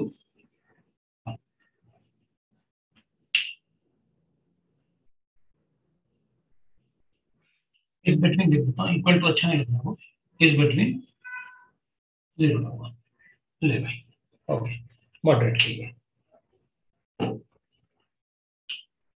ये आपका का मतलब एड्सॉर्प्शन वाला पार्ट है। लेकिन आपने n greater than equal to two बोला था ना तो वन बाय एन वन कैसे होगा अब n जनरली 1.1 तो लाना मुश्किल है। या तो एन जो होगा वो इंटीजर ही आता है जनरली इसलिए कम से कम टू तो लिखा ही था अपन ने। अब आ रहा है उसके बीच में, लेकिन ज़ीरो टू पॉइंट फाइव तक आए तो आता ही नहीं कभी। एक्सपेरिमेंट जब भी करते हैं ना तो उसमें आता ही नहीं। तो मुझे याद है, मैंने क्या लिखा था। इसलिए तो मैंने उसका टू लिखा था टेन बूझ के। वरना मुझे ये सारी चीज़ें पता थी ना मुझे तो। पहले से पता थी कि मैं जो लिख रहा हूँ। अभी भी जो लिख रहा हूँ, मुझे पता है कि क्या लिख रहा हूँ और कब क्या करना है मुझे। इसलिए अपन क्या करेंगे ना? फॉर सोल्यूशन एक तो ये लिख लेंगे अपन। दूसरा अपन लिख लेंगे फॉर सोल्यूशन अपन क्या करेंगे सोल्यूशन के लिए? रेट जो है ना फ्रैक्शन इसको कंसंट्रेशन भी लिख सकते हैं k into a into c divided by 1 plus a into c. c where c is concentration. Where c is concentration. Concentration मतलब आपने देखा होगा ना पॉइंट्स की एड आती है। पॉइंट्स की एड देखी, उसमें वो ब्लैक बॉल जैसे डाल देता है पानी में तो पानी एकदम क्लियर हो जाता है और अपन को बेवकूफ़ बना देता है वो। चारकोल होता है वो। क्या करते हैं? पानी थोड़ा सा गंदा होता है, फिर वो कहते हैं कि पॉइंट्स की एड आ रही है और उसमें वो चारकोल डाल देते हैं, पानी एकदम क्लियर अपन को लगता है ऐसे इसके हमारे भी साफ़ हो जाएगी। ऐसा कुछ नहीं होता। पानी आपने एब्जॉर्ब करवाया ना चारकोल पे स्किन थोड़ी स्किन से थोड़ी डस्ट एब्जॉर्ब करवा रहा है सो so, वो सब एब्जॉर्प्शन फिनोमेना है वो कंसंट्रेशन पार्ट में कभी कभी अपन देखते हैं ना कुछ ऐसे कोई चारकोल डाल दो कोई कलर्ड सोल्यूशन है है ना? तो कलर्ड सोल्यूशन को अगर अपन मतलब उसमें चारकोल डाल दें तो वो कलरलेस हो जाएगा। जैसे शुगर होता है। शुगर कैसे होता है? जो अपन साफ़ बिल्कुल एकदम क्रिस्टल व्हाइट दिखता है अपन को है ना? क्रिस्टल व्हाइट दिखता है ना अपन को तो वो क्या करते हैं वो? चारकोल में ही तो डालते हैं शुगर को। चारकोल में डालते हैं तो जो उसका ब्राउनिश कलर होता है वो सब एब्जॉर्ब हो जाता है। फिर पॉलिश करते हैं उसको। फिर शुगर अपन को खाने देते हैं। अगर वो पॉलिश ना करें, और अगर वैसे ना दें तो फिर शुगर तो जैसे अपन वो खाते हैं, गुड़ खाते हैं, वैसे होता है शुगर तो। रियल शुगर तो वही है ना, और गुड़ भी अगर आप देखोगे तो वो ब्लैक होता है, वो बनता है वैसे। तो जो तो अच्छा तो बनाते हैं बाद में, उसको मतलब पॉलिश करके और सब करके। चलो, ये था आपका ऑप्शन वाई में one upon b b c आएगा ना? वन अपॉन बी ना इधर हाँ लिख कर दे कोई प्रॉब्लम उससे गलती लिख दिया होगा वैसे कंसंट्रेशन वाला पार्ट पूछते नहीं है फिर भी अपन लिख लेते हैं। आ गया तो इतना सारा पढ़ा। एक पार्ट नहीं लिखा तो गड़बड़ हो जाएगा ऑब्वियसली बात है शुगर अनहेल्दी हो जाता है। अनहेल्दी तो सब कुछ है। जो भी खा रहा है, सब अनहेल्दी है। अगर अपन को खाने कहाँ मिलता है? अच्छा। चलो ठीक है। अब ऐसा नहीं खाना छोड़ देंगे नहीं दिए तो खाएँगे ही भाई। जब तक ज़िंदा रहेंगे, रहे तो। चलो अच्छा ठीक है। हमने काफ़ी कुछ पढ़ लिया। ये अपना एब्जॉर्प्शन वाला पार्ट था। उनको तीन पार्ट में डिवाइड करना है ये। एक एब्जॉर्प्शन है और एक कोलाइड्स वाला पार्ट है। थोड़ा सा कैलकुलस डिस्कस करेंगे अपन।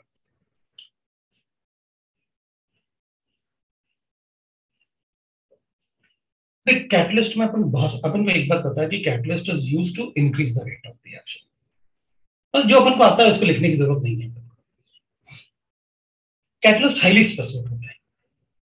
मतलब ऐसे भी अपन कर दें भाई ठीक है सीओ प्लस एच टू डालते हैं और इससे रिएक्शन करवा के चलो कॉपर डाल देते हैं तो एच सी एच ओ बन जाएगा। और अगर इसी में निकल डाल देंगे तो C H three O H बन जाएगा।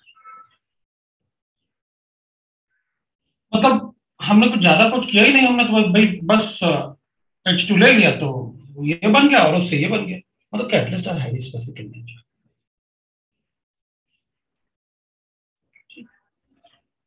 वो अपन को पता है। और catalyst are use to increase the rate कैसे रेट को इंक्रीज करेंगे? तो अपन कहते हैं, किसी भी रिएक्शन में कैटलिस्ट कुछ भी नहीं कर सकता, सिर्फ़ एक ही चीज़ कर सकता है, वो increase the rate by choosing the alternate path of the reaction ऐसा ऑल्टरनेट पथ जिसमें एनर्जी ऑफ़ एक्टिवेशन कम लगे। बस इसके अलावा कैटलिस्ट कुछ नहीं। करता तो कभी कभी ऐसे भी करेंगे। मेरे पास अनकैटलाइज रिएक्शन है।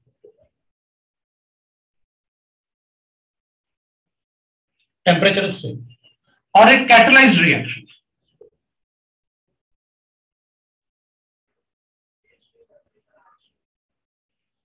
अपन से कहेंगे अच्छा अब तक आर तो आर टी टी तो सेम ही है। भाई, एक जो, एक बार कैटलिस्ट यूज़ किया तो एनर्जी ऑफ़ एक्टिवेशन कम होगा, ये ज़्यादा होगा। तो बताओ रेट कितने टाइम बढ़ गया? इनका रेशियो लेके बता दूँगा बता दूँगा। कैटलिस्ट है तो क्या होगा? अनकैटलाइज्ड है तो क्या होगा? बता दूँगा। ये तो कैंसिल हो जाएगा। नंबर ऑफ़ कोलाइजन थोड़ी चेंज होता है कैटलिस्ट से। ये तो नंबर ऑफ़ टोटल कोलाइजन हो गया ये कैटलिस्ट रिएक्शन था। सो so, इसी में ले लेता हूँ। ये ऊपर ये कैटलिस्ट है तो ये ऊपर रहेगा ये नीचे रहेगा ऊपर जाएगा तो पॉजिटिव हो जाएगा so e two power of e one minus e two कर ये लोग टेम्परेचर क्वेश्चन में दे दो इवन ए टू दे दो कितना चेंज होता है तो मैं बता देता हूँ इनके रेशियो से कि जब कैटलिस्ट आया तो रेट कांस्टेंट कितना बढ़ गया तो रेट बढ़ गया। ये कैटलिस्ट यूज़ करने से कितना के था कितना हो गया बताओ कितना एनर्जी एक्टिवेशन कम हो गया बस बताओ सो कैटलिस्ट जो यूज़ होंगे रिएक्शन में, वो ना तो नेचर ऑफ़ रिएक्टेंट चेंज कर सकते हैं ना नेचर ऑफ़ प्रोडक्ट चेंज कर सकते हैं ना रिएक्शन का डेल्टा चेंज कर सकते हैं वो कुछ नहीं कर सकते। वो सिर्फ़ रेट बढ़ा सकते हैं by choosing the alternate path जिसमें एनर्जी एक्टिवेशन कम होगा we can only increase the rate of reaction.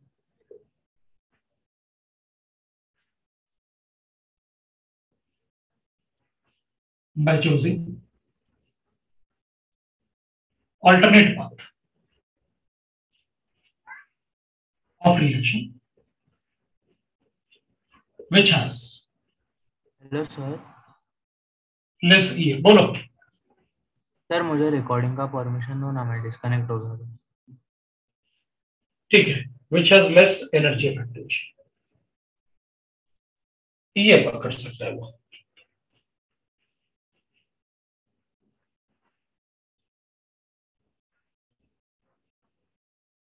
कौन डिस्कनेक्ट हो गया था? अरमान। अच्छा ठीक है। तो होगा नहीं अपना।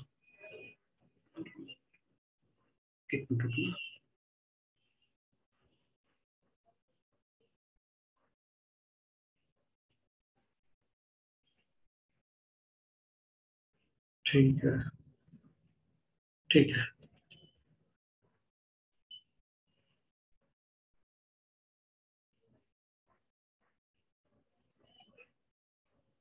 ठीक है तो अपन क्या करेंगे choosing the alternate path eh, less energy filtration it cannot change delta h energy of the reactant cannot affect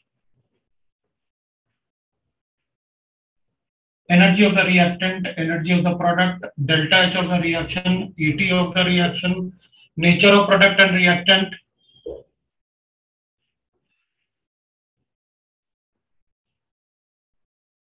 and reactant and a reaction a particular reaction of reaction and so on. They are highly specific.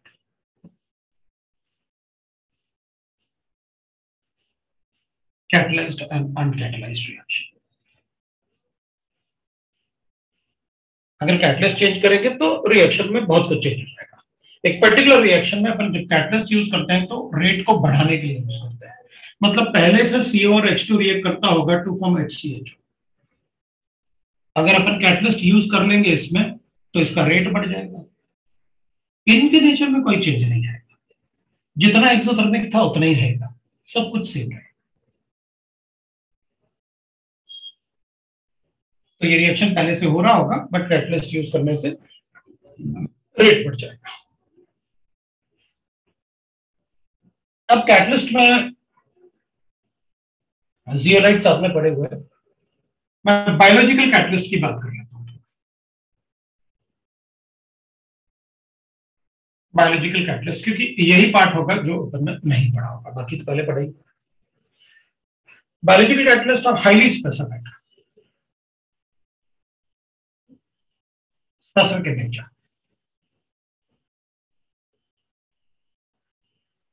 And are nitrogenous compound.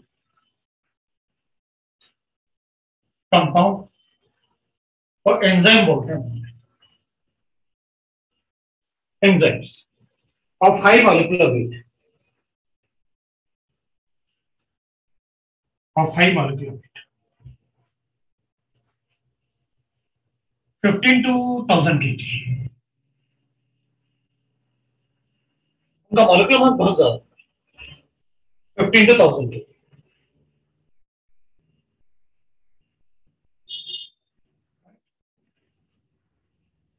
they increase the rate of reaction by rate by बहुत ज़्यादा increase करते हैं 10 to the power of 15 to 10 to the power of 17 times. Without them rate of reaction is very less अगर उनको use करेंगे तो बहुत high होगा। At temperature at optimum temperature अपन लिख सकते हैं एट टेम्परेचर उनका बेस्ट फंक्शनिंग होता है टेम्परेचर अराउंड 40 डिग्री सेंटीग्रेड पे। एंड पीएच 5 टू 7 इस रेंज में उनका बेस्ट फंक्शनिंग होता है।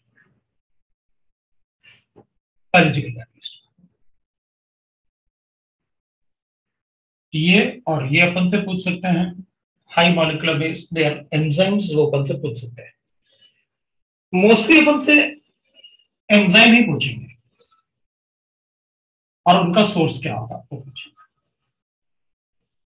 रिएक्शन भी पूछ सकते हैं अपन से कि भाई कौन सा रिएक्शन में काम आता है। तो अपन बता देंगे। एंजाइम्स जैसे अपन लिखेंगे एक तो इन्वर्टेस दूसरा जाइमेज ये भी ईस्ट में होता है और ये भी ईस्ट में होता है। और दोनों ही यूज़ होते हैं किसमें? Industrial method of preparation of alcohol जो मैंने पढ़ा होगा। मैंने आपको कमर्शियल एल्कोहल्स भी बताया। तो इंडस्ट्रियल मेथड ऑफ़ एल्कोहल्स में अपन क्या करते हैं? सुक्रोज को कन्वर्ट करते हैं ग्लूकोज में। ये sucrose to glucose plus fructose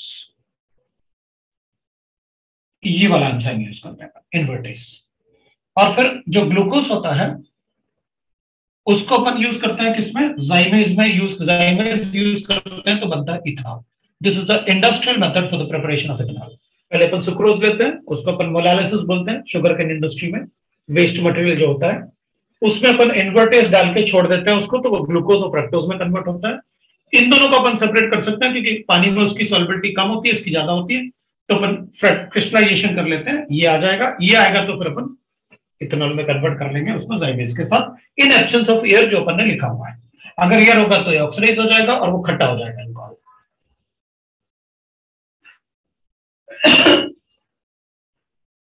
फिर अपन लिख सकते हैं डायस्टेस ये माल्ट में मिलता फिर अपन लिख सकते हैं माल्टेस जो कि वापस अपन को ईस्ट में मिलता है।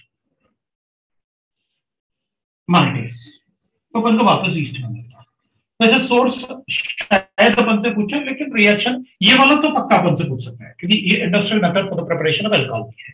तो अपन से पूछते भी हैं वो वाला reaction fifth we can write that urease urease और एक पेप्सिन लिख लेते हैं पेप्सिन जो स्टमक में होता है प्रोसेस जिससे कि फ़ूड का डाइजेशन होता है। यूरेज तो सोयाबीन में होता है।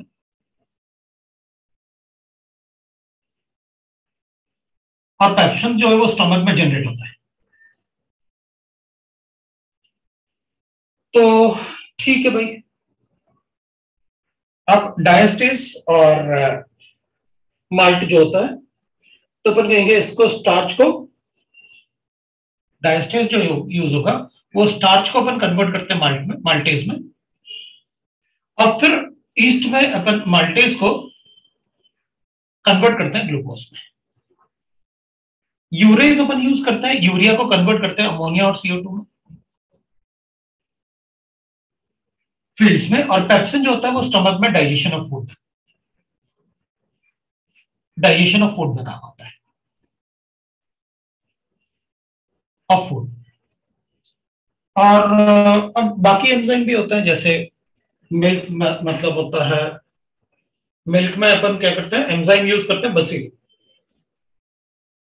to convert into the curd ये एंजाइम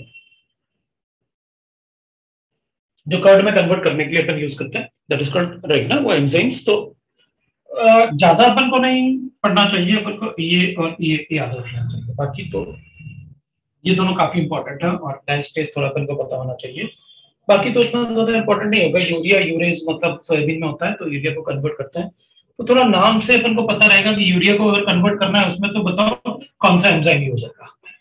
यूरेज माल्टोज को ग्लूकोज में तो अपन को पता है दैट इज़ माल्टेज और स्टार्च को माल्टेज में तो डायस्टेज बाकी वो दोनों काफ़ी इंपॉर्टेंट है। पहले दोनों वालों मैंने इन दोनों की वजह से ही ये सारा बताया। वरना तो बताता भी नहीं, और वो भी ये वाला पार्ट मैंने किसी बैच को पढ़ाया होगा, किसी को नहीं पढ़ाया। किसी बैच को मतलब जिनको मैंने एल्कोहल नहीं पढ़ाया होगा, उनको नहीं पढ़ाया होगा। क्योंकि इंडस्ट्रियल मेथड में थोड़ा सा अपन को पता होना चाहिए। ये आपके बायोलॉजिकल कैटलिस्ट है खत्म हो गया। एंड द कैटलिस्ट जो बायोलॉजिकल कैटलिस्ट होते हैं ना वो work on the principle of key lock method अब जो बायोलॉजिकल कैटलिस्ट होते हैं वो की लॉक मेथड पे बेस्ड होता है. अब की लॉक मेथड ऐसा कुछ भी नहीं होता. होता क्या है? बोलो. सर माल्टेज को माल्टेज मतलब ग्लूकोज में कन्वर्ट करने के लिए माल्टेज ही लग रहा है? हाँ माल्टेज को ग्लूकोज में कन्वर्ट करने के लिए अपन को माल्टेज ही लगेगा. एक्चुअली शुगर है ना, वो लिखा माल्टोस तो देख लेते हैं। माल्टोस भी तो वही होता है ना। तो राइट में अपन ने मिल्क को अगर कर्ड में कन्वर्ट करना है तो वो एंजाइम यूज़ होता है।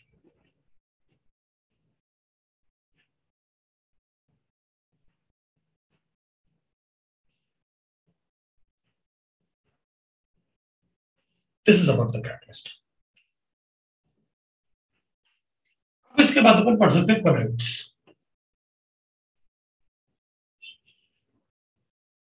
अपन पढ़ सकते हैं कोलेट्स पहले अपन एक बार देख लेते हैं कितना टाइम हो गया। अगर ज़रूरत पड़ेगी तो अपन ब्रेक ले लेंगे। फोर फोर्टी हो गया। तो ठीक है, थोड़ा सा ब्रेक ले लें, फिर अपन उसके बाद कोलेट शुरू कर लेते हैं। ये अपने आप ही जनरेट होता है मिल्क में। बस ये, वो टेम्परेचर से अपने आप ही जनरेट हो जाता है।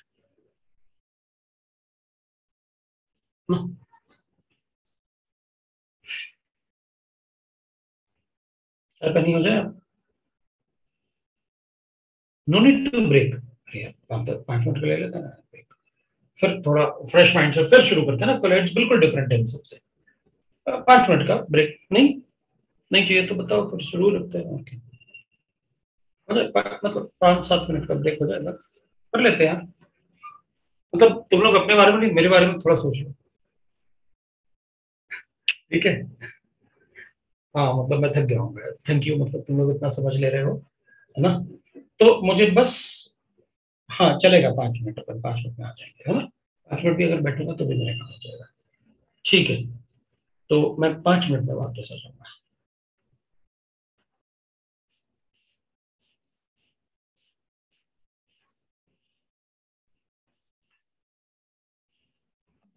कोलाइड्स क्या होते हैं, वो देखते हैं ना?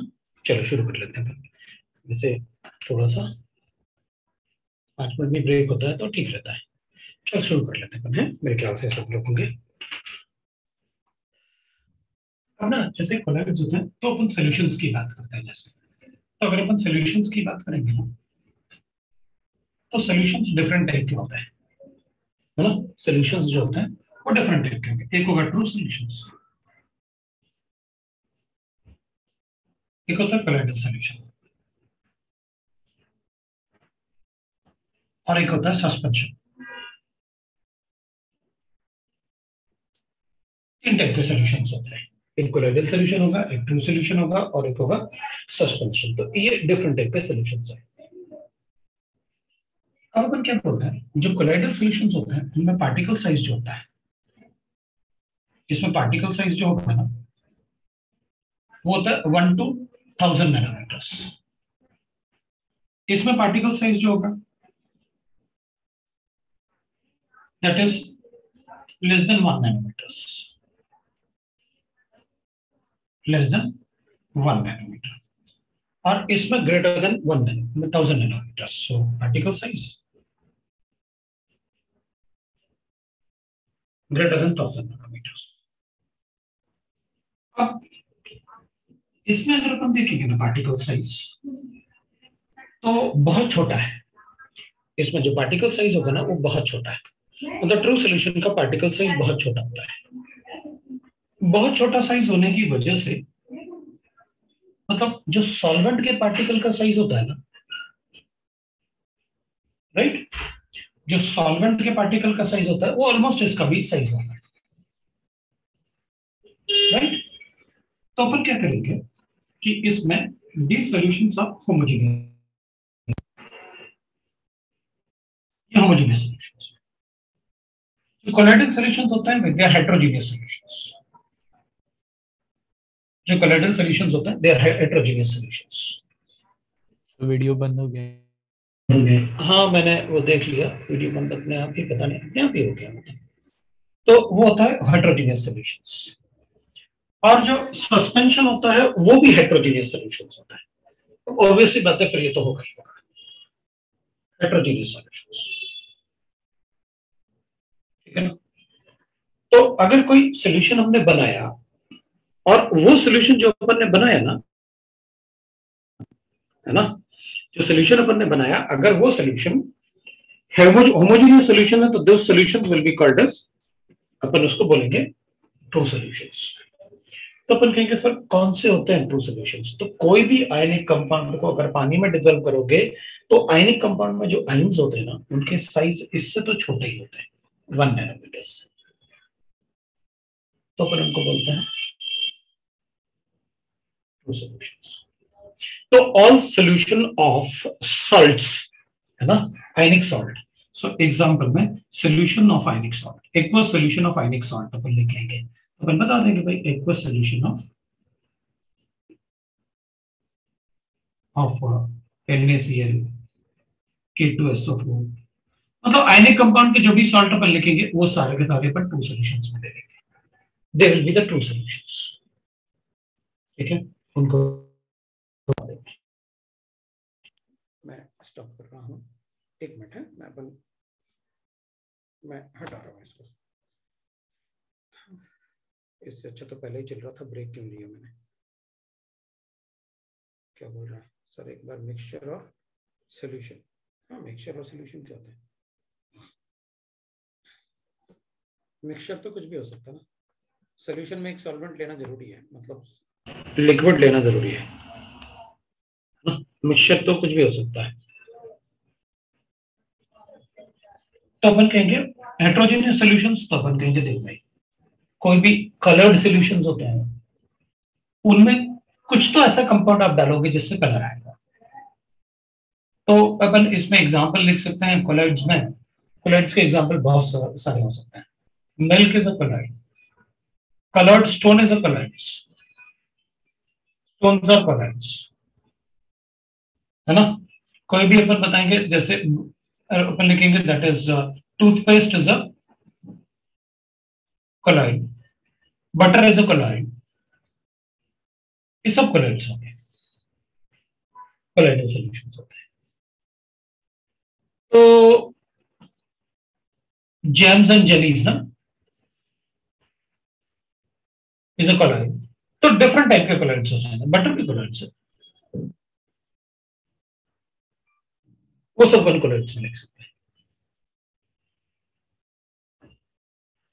सस्पेंशन में क्या होता है? जैसे मडी वाटर हो गया। उसमें सस्पेंशन अपन उनको बोलते हैं जिस सोल्यूशन को अपन रख दें तो उसमें से पार्टिकल नीचे डिपॉजिट हो जाएँगे और वाटर ट्रांसपेरेंट क्लियर सोल्यूशन बन जाएगा। That will be called suspension जिसमें पार्टिकल का सेडिमेंटेशन होता है। सो एक एग्जांपल में होगा मडी हाँ बोलो। सर फिर से दो ना परमिशन अरे क्या कर रहा तू आज? सर आज वाईफाई पता नहीं बार बार बंद हो जाता। अच्छा। चल मैंने दिया परमिशन देखना है।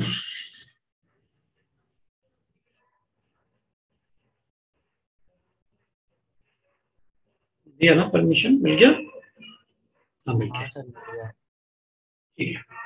तो मडी वाटर ये अपन कहेंगे ऐसा कोई भी सोल्यूशन जिसमें सेडिमेंटेशन प्रोसेस हो सकता है जिसमें पार्टिकल मतलब सेटल डाउन हो सकते हैं। They all will be called suspension so any solution in which suspension can take place. Suspension can take place. Take place. जिसमें सस्पेंशन पॉसिबल है, वो सब के सब अपन बता देंगे दे विल बी द अब जैसे पेड्रेटिक मेडिसिन जो होते हैं ना मतलब छोटे बच्चों को मेडिसिन होते हैं तो उनको अपन क्रोसिंग गोली थोड़ी दे सकते हैं चल टैबलेट खा ले क्रोसिंग उसमें क्या करते हो क्रश करके एक टैबलेट को पूरा एक लिक्विड बॉटल बना लेते हैं उसमें अगर आप देखोगे ना क्रोसिन बच्चों का जो होता है तो उसमें छोटे छोटे पार्टिकल्स होते हैं।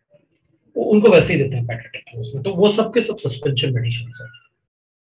जो छोटे बच्चों के मेडिसिन होते हैं ना पैरासिटामोल चेरी कॉफ वो सब जो होते हैं कॉफिल वो सब सस्पेंशन होते हैं। तो मेनली तो कोलोइड्स का रोल ही मतलब मेडिसिन में होता है। Are called colloids. Colloid में क्या होता है? ये पार्टिकल साइज़ होना चाहिए। इसका मतलब है, अगर मैं आपको प्रिपरेशन पढ़ाऊँगा कोलाइड का तो मैं आपको जो भी करूँगा, उसमें सोल्यूशन में ये पार्टिकल रेंज में सोल्यूट को लेके आऊँगा। आप कुछ भी बनाओ पार्टिकल रेंज ये लेके आओ तो मैं उस सोल्यूशन को बोलूँगा कोलाइडल सोल्यूशन ठीक है? तो शुरू हो जाते हैं भाई कोलाइडल सोल्यूशन बनाना है। मतलब ये पार्टिकल रेंज अपन को चाहिए and they are heterogeneous solutions तो थोड़ा सा अपन जैसे अपन ने बायोमोलिक्यूल्स में लिखा था कि क्लासिफिकेशन वैसे अपन यहाँ भी लिख लेते हैं। थोड़ा सा अपन को आउटलाइन पता चलेगा। क्लासिफिकेशन ऑफ़ कोलैट्स ठीक है? क्लासिफिकेशन ऑफ़ कोलैट्स की बात कर लेते हैं। तो मैं इसको हटा रहा हूँ और क्लासिफिकेशन ऑफ़ कोलैट्स की अपन बात कर लेते हैं। तो एक तो अपन बताएँगे भाई classification based on the physical state so based on physical state of dispersed phase and dispersion medium.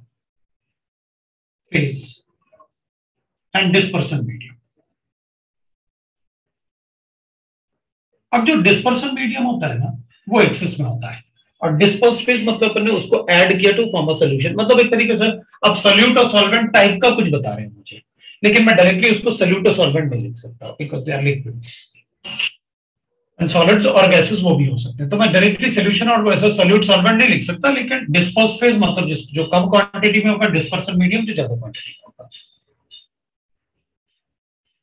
Based on the nature of of dispersed phase phase और एक में लिखूँगा। Based on particle size size of dispersed phase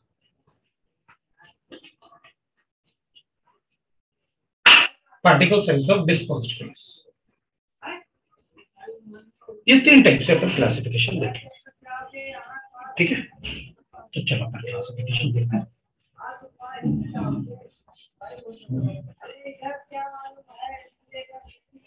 ये तो eight types होते हैं are of eight types. Eight types होता है। इधर अपन लिखेंगे they are lyophobic and lyophilic lyophobic and lyophilic होता है। These are solvent attracting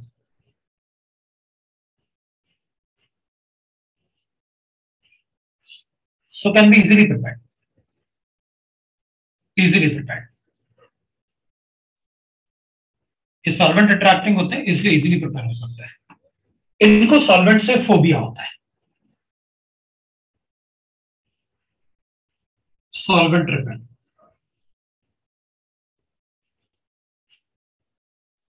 इसलिए अपन इनको इजीली नहीं प्रिपेयर कर पाते हैं, क्योंकि उनमें सॉल्वेंट का फोबिया होता है, वो रिपेल करते हैं तो उनके सोल्यूशन इजीली नहीं बन पाते।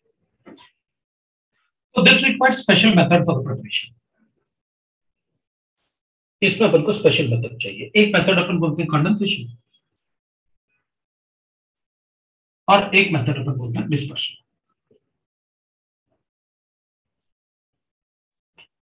कंडेंसेशन मेथड दो टाइप से होता है। एक होता है केमिकल कंडेंसेशन और एक अपन बोलते हैं फ़िज़िकल कंडेंसेशन वैसे फ़िज़िकल कंडेंसेशन से कोई कुछ नहीं पूछता कभी। केमिकल कंडेंसेशन में पूछेंगे अपन से डबल डिकम्पोजिशन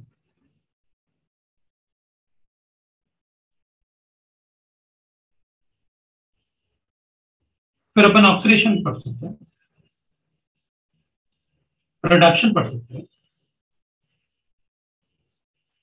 और एक अपन हाइड्रोलिसिस पढ़ सकते फ़िज़िकल में अपन के लिखेंगे? Excess of cooling and exchange of solvent of solvent और दूसरा अपन लिख सकते हैं that is excessive cooling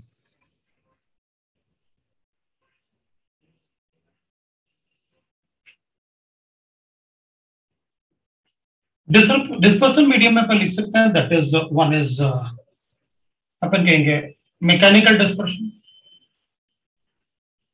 एक होता है इलेक्ट्रिकल डिस्पर्शन और एक होता है पेप्टाइजेशन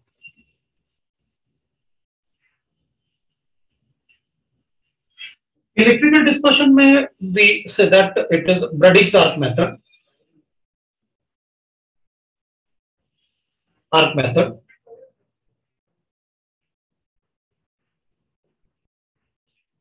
फिर अपन लिखेंगे, इसको ना दट इज़ एक होता है that is multimolecular colloids colloids एक होता है macro molecular collides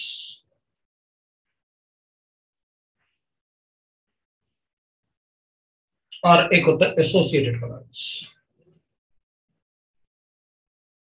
associated collides जिसमें अपन मिसल को बनाएँगे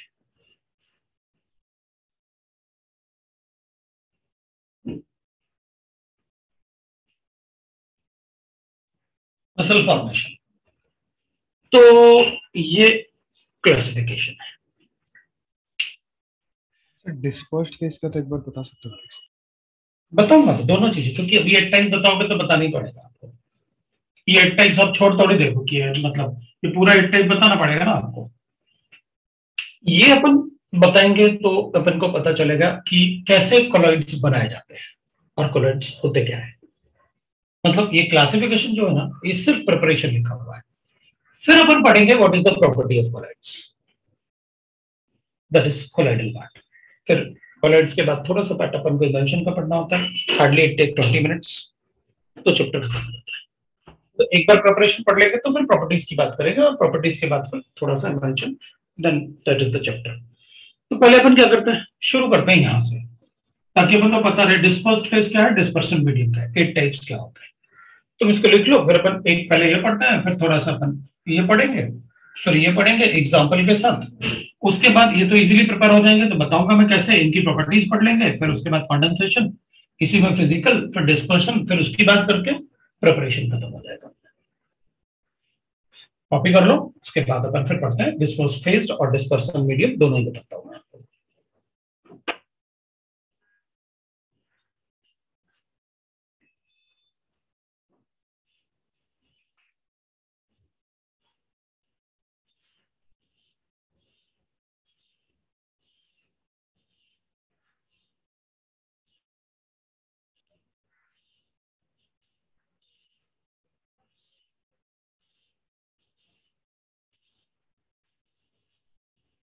सर वीडियो बंद हो गया ये कैसे हो?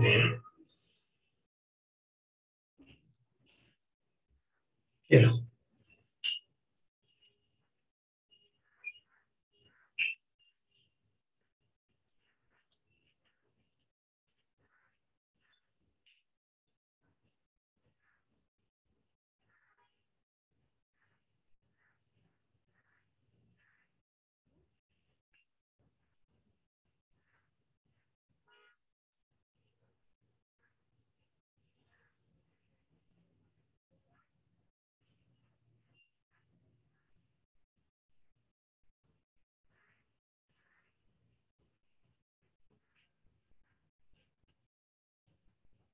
गया पहले मैं एट टाइप बता दूँगी पहले अपन एट टाइप्स देख लेते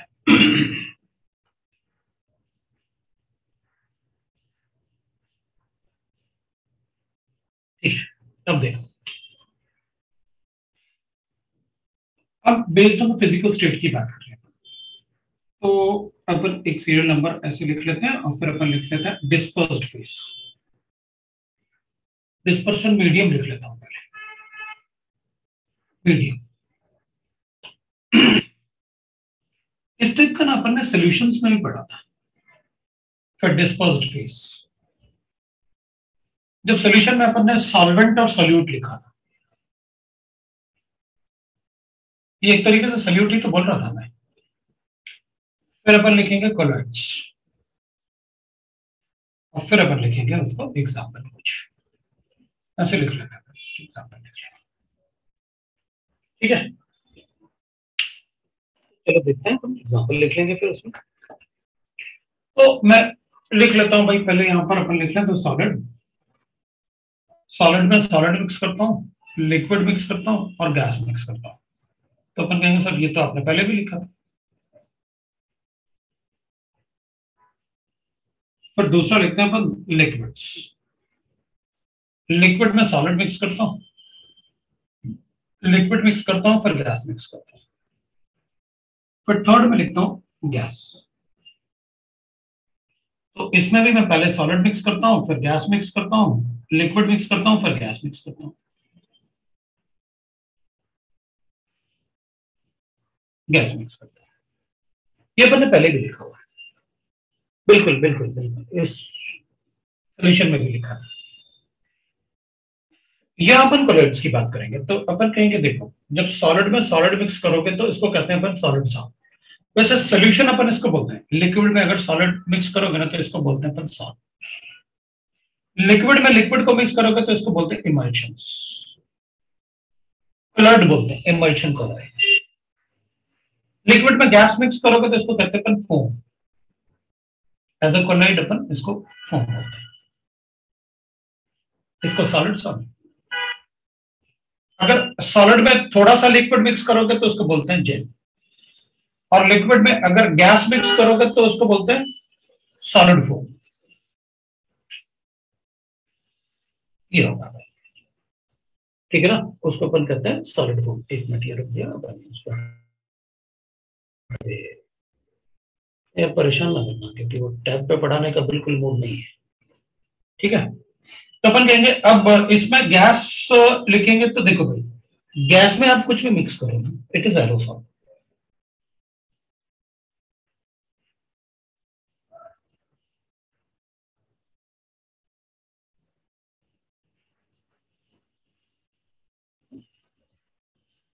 एरोसॉल इसको हटा ये वाला सोल्यूशन नहीं बनेगा। वो क्यों? क्योंकि ये तो होमोजीनियस सोल्यूशन होता है गैस एंड गैस इसलिए तो एट टाइप्स लिखा, वरना नाइन नहीं लिख देता। Gas and gas homogeneous solution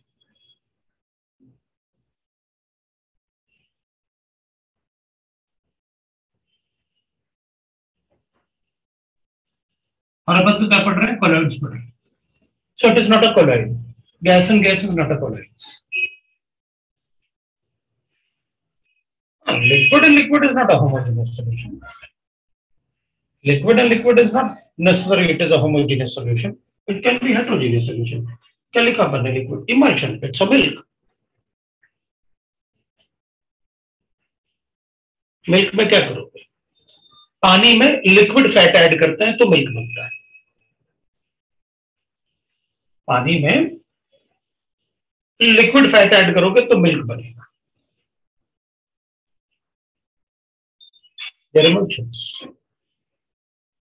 liquid and liquid के लिए मैं थोड़ी करने वाला हूँ। इथेनॉल डाल दिया पानी में देर होमोजीनियस सोल्यूशन, वो क्यों लिखूँगा इसमें एग्ज़ाम्पल समझा ना? उधर जो पड़ा था ना सोल्यूशन में, वो अलग है। इधर अपन इसका पार्टिकल साइज़ अलग रख रहे बड़ा रख रहे हैं वन टू थाउज़ेंड नैनोमीटर जो अपन ने सोल्यूशन में पढ़ा था ना वहाँ इक्वल भी lower than smaller than one nanometer भी रखा अपन ने इधर डिफरेंट है। तभी तो अपन सॉल्यूट को डिस्पोज फ़ेज़ में अब एग्ज़ाम्पल की बात करते हैं। भाई, इसको आप सॉलिड सॉल्व बोल रहे हैं। कलर्ड स्टोन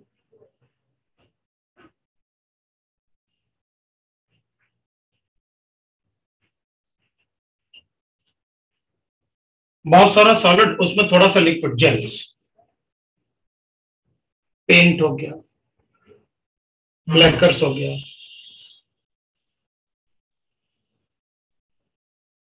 है ना? वो सब इसके एग्जांपल हो जाएँगे। मतलब बहुत सारा लिक्विड और बहुत सारा सॉलिड और थोड़ा सा लिक्विड टूथपेस्ट हो गया, मेरा मतलब कोलगेट वाला जेल वाला टूथपेस्ट टूथपेस्ट टूथपेस्ट जेल लिखा होता है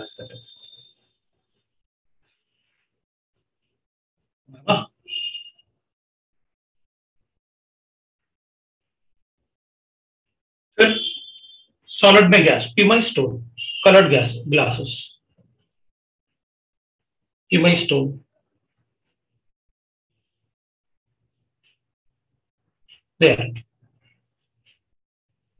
लेकर पेंट जैसे कहोगे लेकर जैसे पेंट होता है वो लेकर्स होता है वैसे।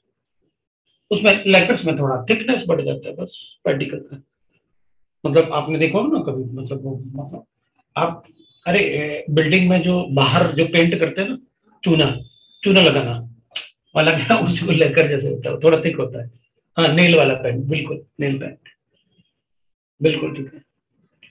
बहुत सारा सॉलिड बहुत सारे लिक्विड में थोड़ा सा सॉलिड सॉल्यूशंस तो अपन इसमें बहुत सारा सॉलिड में, थोड़ा सा बहुत सारे लिक्विड में थोड़ा सा सॉलिड बनाएँगे। तो लिक्विड बहुत सारा है और सॉलिड थोड़ा सा है। तो क्या लिखे बताओ? सॉलिड बहुत सारा है और लिक्विड लिक्विड बहुत सारा है सॉलिड थोड़ा सा है। तो क्या लिखे अपन? वैसे तो लिक्विड मेडिसिन भी लिख सकते हैं है ना? जेरोसिल मेडिसिन डाइजीन वगैरह नहीं देखा आपने? कलर्ड वाले। लाइम वाटर भी लिख सकते हैं। तो डाइजीन वगैरह जो होता है है ना? मेडिसिन जो होता है, लिक्विड मेडिसिन सो मेडिसिन। तो अपन लेमन वाटर भी लिख लेंगे। लेमन वाटर भी लिख सकते हैं। लेमन वाटर मतलब जिसमें अपन को पार्टिकल दिख। रही कलर्ड सोल्यूशन लिस्ट्री जो अपन मतलब माउथ वॉश आता है। They are example of that emulsions मैंने बताया आपको। अब लिक्विड में गैस फोम तो लिक्विड में गैस अगर फोम लिखेंगे हम तो लिक्विड है और उसमें गैस है तो क्या लिखेंगे लिक्विड में गैस पीवाई स्टोन वो होते हैं जिनमें हाँ सोल्यूशन में भी दिया होगा लेकिन वो यही दिया होगा सोल्यूशन में अपने पास लिमिटेशन नहीं थे ना। इसमें लिमिटेशन है अपने पास। तो लिक्विड में गैस अपन फोम यूज़ कर सकते हैं, जो डिओड्रेंट्स होते हैं, ठीक है? मतलब डिओड्रेंट्स बोल सकते हैं डिओड्रेंट्स फोम फिर वो शेविंग क्रीम फोम वाला जो होता है, बिल्कुल क्रीम है ना? सो वो भी लिख सकते हैं अपन शेविंग क्रीम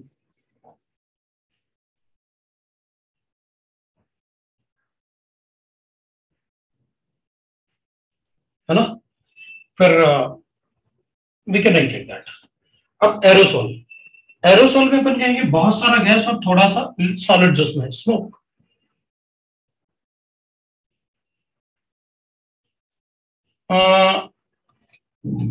मतलब अपन उसमें हाँ लिमिटेशन से अंतर आएगा ना? लिमिटेशन इसलिए लगा के रखे हैं इसमें क्योंकि अगर ऐसा ना होमोजीनियस सोल्यूशन बन जाए होमोजीनियस नहीं बना सकते इसमें। फिर स्मॉक भी लिख सकते हैं क्योंकि उसमें तो गैस भी होता है और वो भी होता है स्मॉक गैस में सॉलिड स्मॉक भी आ सकता है। Aerated drinks will be in बहुत सारा लिक्विड और गैस वो एरिएटेड ड्रिंक्स आ जाएगा। लेकिन वो डिपेंड करेगा एरिएटेड ड्रिंक में आप मतलब फ्रूटी वाली बात कर रहे हो या मतलब कोक वाली बात कर रहे हो? कोक तो नहीं आएगा। उसमें सीओ टू गैस होगा। उसका उतना बड़ा साइज़ नहीं होगा। अगर आप फ्रूटी वाली बात कर रहे हो, माजा वाली बात कर रहे हो तो आ जाएगा। वो थोड़े बड़े हो जाते हैं फिर गैस और थोड़ा liquid form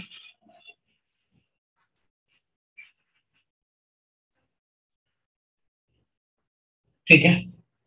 form cloud gas में लिक्विड वो सब हो जाएगा। अब थोड़ा सा एक दो बार आप रिवाइज करोगे तो मेरे लिए थोड़ा सा जो इंपॉर्टेंस है, जिससे अपन को क्वेश्चन आ जाते हैं वो ये वाले पार्ट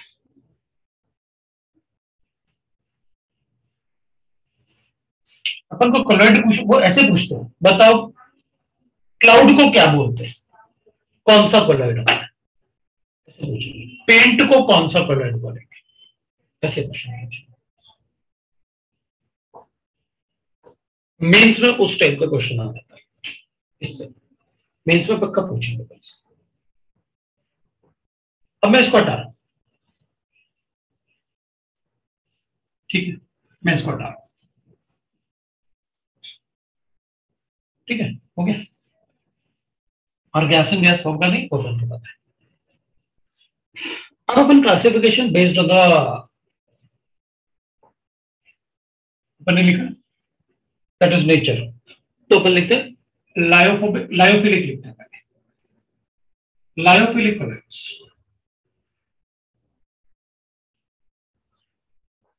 अब लायोफिलिक कलर्स जो होते हैं ना, वो अपन डायरेक्टली मिक्स कर लेते हैं with solvent to get the colours तो पार्टिकल मतलब dispersed phase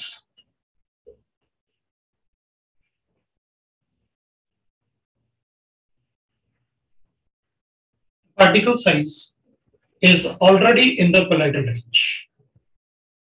In the colloidal range. Range. So sol can be easily prepared. So salt can be easily prepared by direct mixing of mixing of dispersion phase, dispersion dispersed phase in dispersion medium in dispersion medium.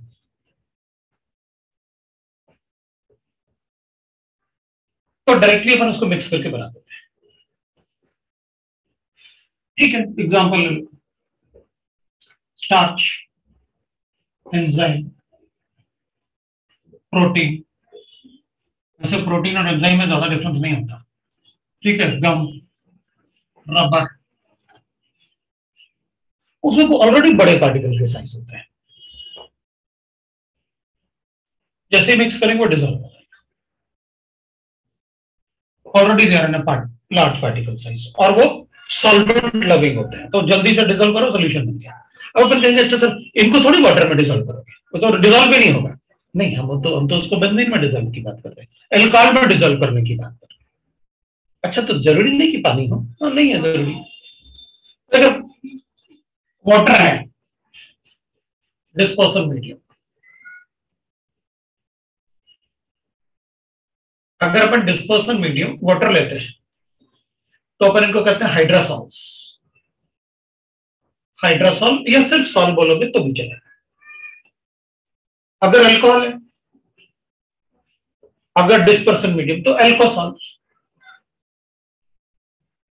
और अगर benzene है तो बेंजोसॉल्स मतलब ये ज़रूरी नहीं कि पानी में किसी चीज़ को डिजोल्व करो। मेरी मर्ज़ी। डिजोल्व करके पार्टिकल रेंज अपन को वन टू थाउज़ेंड नैनोमीटर लाना तो डिजोल्व होता है ना हॉल में रबर बेंजोसॉल्स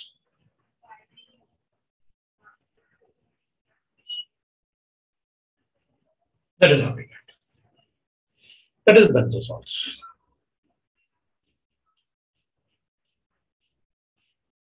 मतलब वो इजीली प्रिपेयर हो जाते हैं।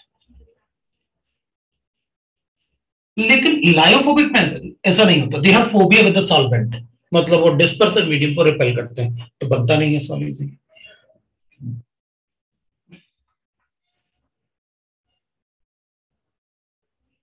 और solvent repel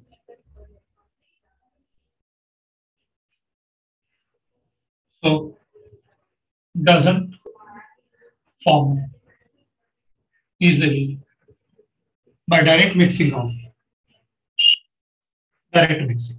अब अपन को पता है डिस्पर्सन फेस्ड और डिस्पर्सन मीडियम की बात कर रहे हैं example metal salts metal sulfates.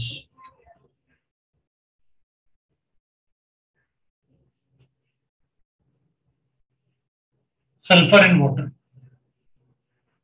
etcetera ही करते हैं। बाद में अपन देखते हैं कैसे करते हैं। तो ये इजीली प्रिपेयर नहीं होते एक बार अपन दोनों की प्रॉपर्टीज़ डिफरेंस लिख लेते हैं properties what is the difference in their properties hydrophilic और हाइड्रोफोबिक आप इसमें लिख लो, मैं जरा मतलब फिर आपको बताता हूँ कैसे करना है अपन थोड़े प्रॉपर्टीज़ लिख लेंगे ना डिफरेंस लिख लेते हैं दोनों में तो ये खत्म हो जाएगा अपना so that we can start the कि लायोफोबिक को बनाएँगे कैसे? Condensation method and the dispersion method उसकी बात करेंगे। पर दोनों में एक बार डिफरेंस लिख लेते हैं अच्छे से। इतना डिफरेंस तो पता चल गया कि ये डायरेक्ट मिक्सिंग से होता है, ये नहीं होता। इतना और भी पता चल गया कि इसमें पार्टिकल साइज़ ऑलरेडी उतने बड़े रेंज में होता है, इसमें उतना बड़ा रेंज नहीं होता।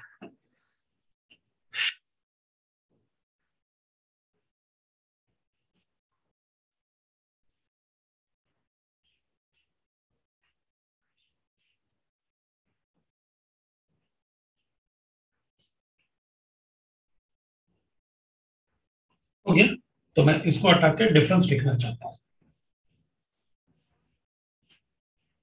मतलब डिफरेंस के लिए ना, यहाँ नीचे लिखूँगा तो फिर प्रॉब्लम होगा ना। अपन को थोड़ा और डिफरेंस थोड़ा ज़्यादा लिखना पड़ेगा। अच्छे से ना? तो अपन लायोफिलिक लिख लेते हैं, क्योंकि अपन को पता है वो इजीली बन जाता है तो डिफरेंस लिखना भी बड़ा इजी होगा। लायोफिलिक और लायोफोबिक फिर अपन बनाएँगे इसको। तो मैं इसको हटा रहा हूँ, इसको हटा देता हूँ। ताकि अपन डिफरेंस लिख लें।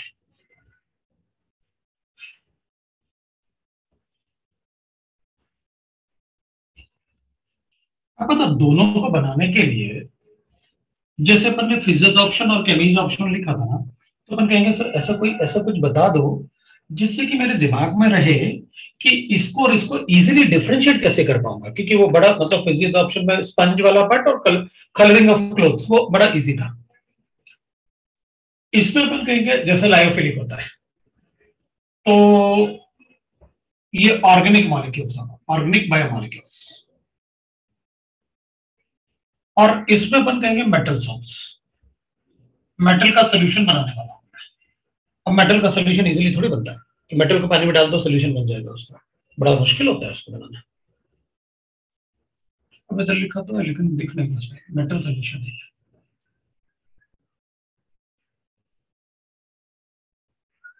मेकिंग ऑफ़ मेटल सोल्यूशन ना तो लायोफोबिक अपन को पता है।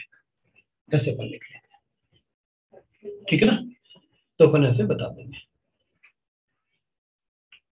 राइट तो व्हाट विल डू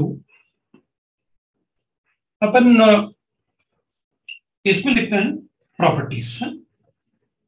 मुझे ना इसमें एक और वो बनाना था, मैं बना नहीं पाया इसमें। अपन तो यहाँ पर प्रॉपर्टी भी लिखना चाहिए कि क्या क्या है। बताना क्या क्या है? तो प्रॉपर्टी बताना पड़ेगा अपन को क्या किस, क्या लिखना है, किसके बारे में लिखना है इसमें, अपन को ये बताना तो पहले अपन लिखेंगे इसमें ईज ऑफ़ प्रिपरेशन मतलब पहले मैं लिखूँगा इसमें that is ease of preparation easily कौन प्रिपेयर किया जा सकता है, ठीक है ना? तो अपन थोड़ा सा ईज ऑफ़ प्रिपरेशन लिखेंगे। मैं इसको हटा देता हूँ। ये तो डायरेक्टली मिक्सिंग से होता है बट को पता है ease of preparation so ease of preparation तो दिस ऑर्गेनिक मॉलिक्यूल स्टार्च है। अच्छा देखो, एक और बात है, जैसे स्टार्च ले लेते हैं अपन तो स्टार्च एक तरीके से घर में जो अपन आटा यूज़ करते हैं ना फ्लोर यूज़ करते हैं फ्लोर सबको पता है, आटा होता है। तो अपन आटा ही बोलते हैं। जो आटा यूज़ करते हैं घर में तो अपन को पता है, आटा अगर अपन यूज़ करेंगे और उसमें पानी डालेंगे तो बहुत ज़्यादा एब्जॉर्ब करता है पानी को। थोड़ा डालो, अब थोड़ी देर में एक मिनट रुको, गायब हो जाएगा। क्यों? हेवीली हाइड्रेटेड होता है अब बाद में कभी कभी अपन क्या करते हैं, उसको सुखा भी देते हैं, बाद में पानी डाल के फिर वापस बना लेते हैं। आपने देखा होगा ना चपाती बनाई और उसके बाद कुछ बच गया तो अपन उसको ऐसे करके रख देते हैं। और जब अपन को वापस चाहिए, वो यूज़ रीयूज करना है आफ्टर सम टाइम तो अपन उसमें थोड़ा सा पानी डाल के और फिर उसको रीयूज कर लेते हैं। तो इसको मैं रिवर्सिबल भी लिखूँगा। नॉट ओनली दैट कभी कभी क्या होता है, अब तो उतना नहीं लोग करते हैं। पहले मतलब जब हम लोग जैसे स्कूल में पढ़ते थे ना तो मान लो गम जैसे फेविकॉल है, वो उसका कैप टूट गया या गुम गया तो होता क्या था, वो ड्राई अप हो जाता है। अरे गम है? तो ड्राई हो जाता है, हम लोग क्या करते थे, फिर उसमें थोड़ा सा उसमें से उसको निकाला, उसमें गर्म पानी में उसको डाला और थोड़ा सा गर्म कर दिया वापस बन जाएगा उसमें। दैट हाईली हाइड्रेटेड होता है ना वाटर को एब्जॉर्ब करेगा वापस वो फेविकल में कन्वर्ट हो जाएगा। तुम भी करके देख सकते हो घर में। राइट ना? तो अपन ऐसे बना सकते हैं। ठीक है? तो एक तरीके से organic molecules ease of preparation का मतलब can be directly prepared directly prepared by mixing of uh, dispersed phase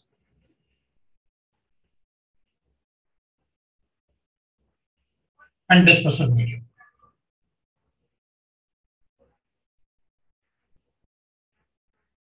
That is called diarrhea. Lyophobic people get the, it requires special method for preparation. Special methods. For preparation. अब अगर अपन लिखेंगे nature of substance इसमें nature of substance of substance तो अपन लिखेंगे organic molecule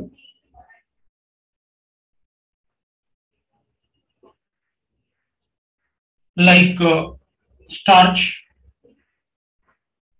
gum, protein, rubber, etc. But इसमें lyophilic जो होते हैं वो वाटर हाइटिंग होते हैं तो उसमें जो होगा वो इनऑर्गेनिक मॉलिक्यूल्स होंगे। Inorganic molecules like metal salts metal metal sulfides etc ये तो अपन कहेंगे, फिर हाइड्रेशन की बात करो। तो अपन कहेंगे, देख भाई, ये इजीली प्रिपेयर इसलिए हो जाते हैं क्योंकि वो डिस्पर्शन मीडियम से हाइटली हाइड्रेटेड होते हैं। भाई, आटा पानी में, पानी पानी को अपन डालते हैं ना आटे में तो वो बहुत ज़्यादा पानी को एब्जॉर्ब करता है। तो ये बहुत ज़्यादा पानी को एब्जॉर्ब करता है। ये नहीं करता। तो अगर मेटल में पानी डालेंगे तो एब्जॉर्ब थोड़ी कर लेगा। Highly hydrated highly hydrated very less पर नेग्लिजिबल लिख सकता है। और negligible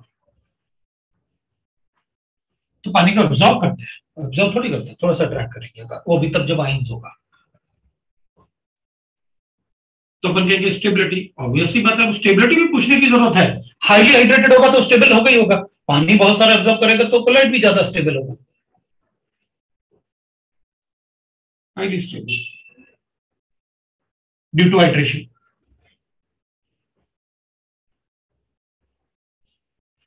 less stable can be easily prepared can be easily precipitated can be easily precipitated.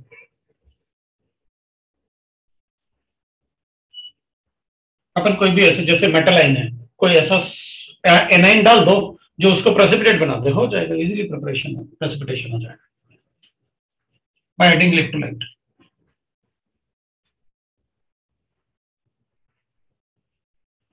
वो इजीली प्रेसिपिटेट हो जाएगा। और रिवर्सिबिलिटी तो अभी तो बताया आपने कि आप, आटा को रख दोगे ड्राई अप हो जाएगा, वापस उसमें पानी डाल के थोड़ा सा उसको आप वापस बना सकते हो। या अपन ऐसे कहेंगे कभी कभी टूथपेस्ट का जो टैप होता है ना, वो टूट जाता है। अपन क्या करते हैं ड्राई अप हो जाता है। ठीक है, उसको बाहर वो अगर ड्राई हो गया ना, बाहर निकालो सारा, उसको कट कर दो टूथपेस्ट में थोड़ा सा पानी डालो वापस उसको हीट कर दो, वो वापस बन जाएगा। फिर किसी बॉटल में भर के रख दो। Is reversible these are reversible in nature ये इरिवर्सिबल है। एक बार पीपीटी बन गया तो उसको वापस ले जाना मुश्किल होता है। इरिवर्सिबल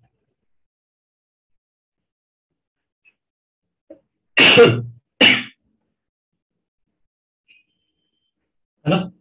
तो reversible in nature because once precipitated precipitated,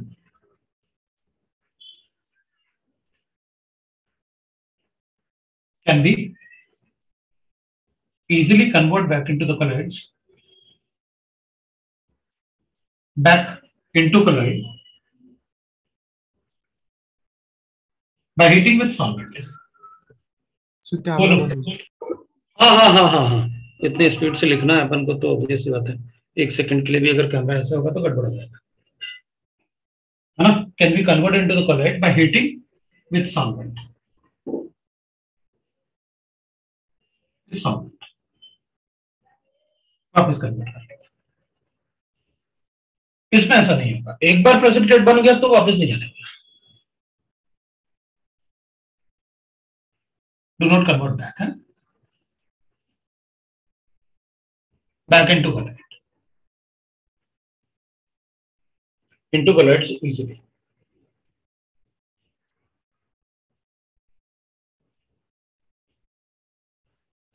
फिर अपन ऐसे भी कुछ प्रॉपर्टी जैसे physical property surface tension viscosity ऐसे कुछ लिख लेते हैं विस्कोसिटी की। बात करते हैं।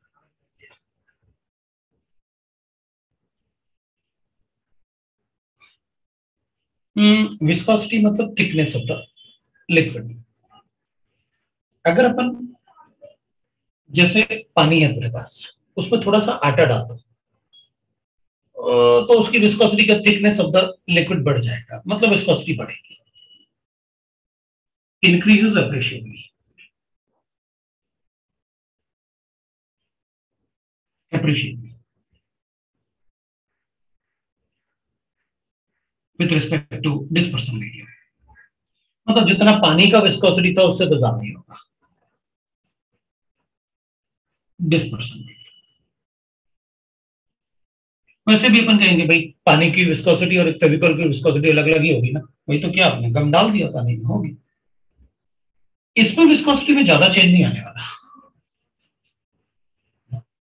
So it remains same as of dispersion medium. जैसे अपन पानी में कोई सोल्यूशन कोई आइंस डाल दें तो उसमें आइंस आएँगे भी तो भी उनका साइज़ बहुत छोटा होता है तो ज़्यादा कुछ चेंज नहीं आने वाला। So it is almost equal to almost equal to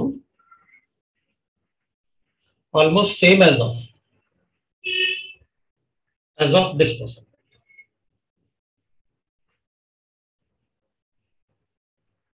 तो विस्कोसिटी वहाँ थिकनेस हो रहा था तो करने का कि वहाँ तो बढ़ जाएगा अगर सरफेस टेंशन की बात करें तो सरफेस टेंशन ठीक है सरफेस टेंशन की बात करेंगे तो पहले पानी का सरफेस टेंशन ज़्यादा रहा होगा। अगर कोई दूसरा पार्टिकल आएगा तो बीच में उनका अट्रैक्शन कम हो जाएगा। तो अपन कहेंगे surface tension of the dispersal medium decreases surface tension decreases with respect to dispersion medium. Medium. जबकि इसमें कोई फ़र्क नहीं पड़ने वाला। It is almost same as that of dispersion medium वही और चार्ज तो दोनों में ही रहे, नहीं रहे इसमें तो चार्ज रहेगा नहीं, लेकिन इसमें कैटाइन एनाइन पर डिपेंड करेगा। तो अपन इलेक्ट्रिकल प्रॉपर्टीज़ भी बोल सकते हैं भाई। अब इतना काफ़ी हो जाएगा ये लास्ट होगा फिर electrical properties properties no migration. Towards the electron. क्योंकि ये अब अगर उसमें मतलब इनमें कोई आइंस प्रोड्यूस नहीं कर सकता ना? रबर प्रोटीन ये सब. बट यहाँ पर तो मेटल आइंस हैं so they will migrate towards the respective electrode charge कौन सा, ये बता दो। अगर मेटल आइन है तो पॉजिटिव चार्ज है। So migrate towards respective electrode towards respective electrodes.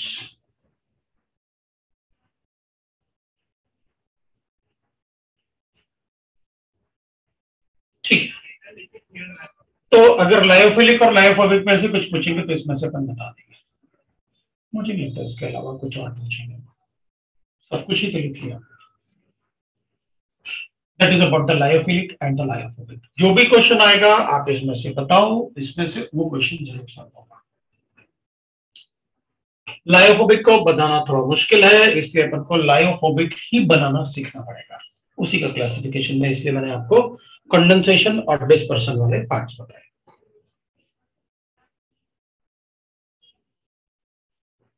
वही मैं आपको बताऊँगा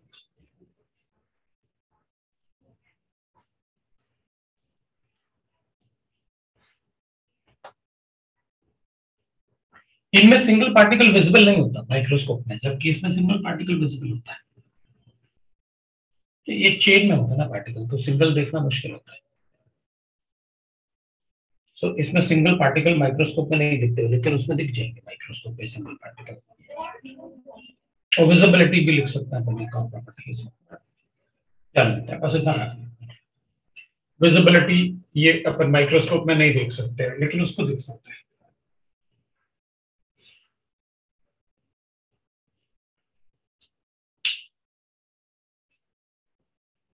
मैं इलेक्ट्रिकल प्रॉपर्टीज़ में लिख ऑप्टिकल प्रॉपर्टीज़ में लिखवा विजिबिलिटी ना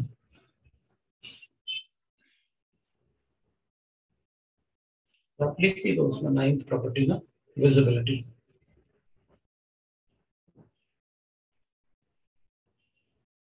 are not visible even in ultra microscope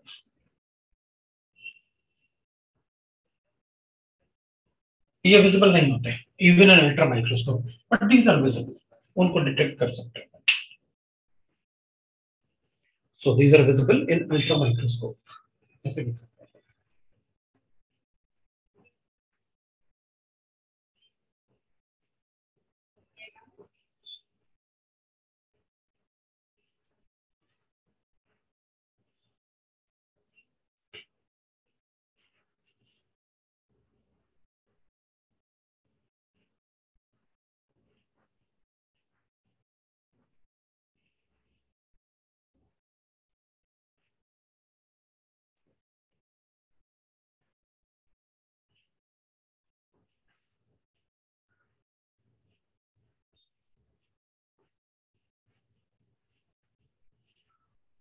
हैं about condensation methods? So methods of preparation of lyophobic salts पढ़ते हैं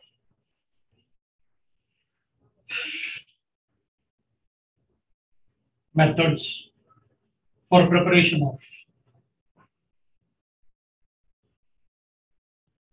lyophobic salts. ये पढ़ेंगे एक अपन कंडेंसेशन की बात कर लेते हैं पहले कंडेंसेशन की बात कर लेते हैं।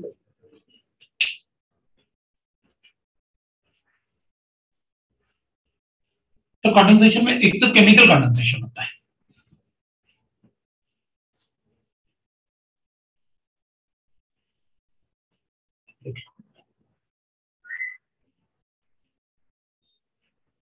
लायोफोबिक के लिए विजिबिलिटी दे और विजिबल लायोफोबिक के लिए लिख दो their particle size though not visible but they can be detected ये ना तो विजिबल है और मुश्किल से डिटेक्ट और डिटेक्ट भी नहीं होते अल्ट्रा माइक्रोस्कोप में और लायोफोबिक के लिए लिख दो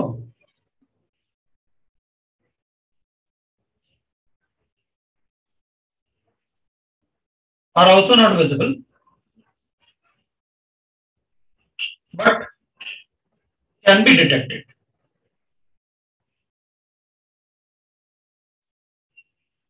In ultra microscope.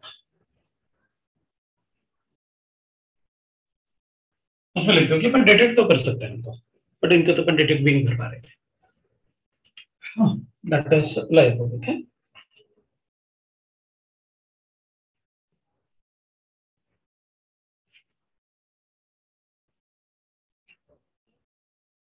हो गया? तो फिर अपन कंडेंसेशन की बात एक तो मैं डबल डिकम्पोजिशन की बात करूँगा।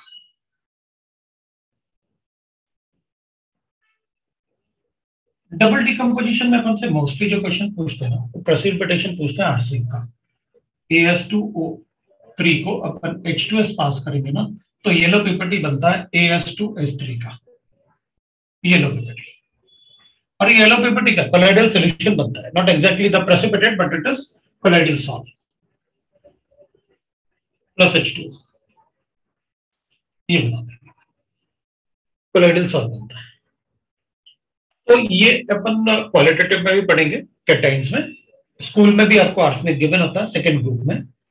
जब आप एच टू एस सोल्यूशन डालते हैं इन सल्ट सोल्यूशन तब भी अपन को ये बताया जाता है येलो सोल्यूशन तो that is how we can red the colloids even cadmium भी होता है कैडमियम हाइड्रोक्साइड होता है अपने पास।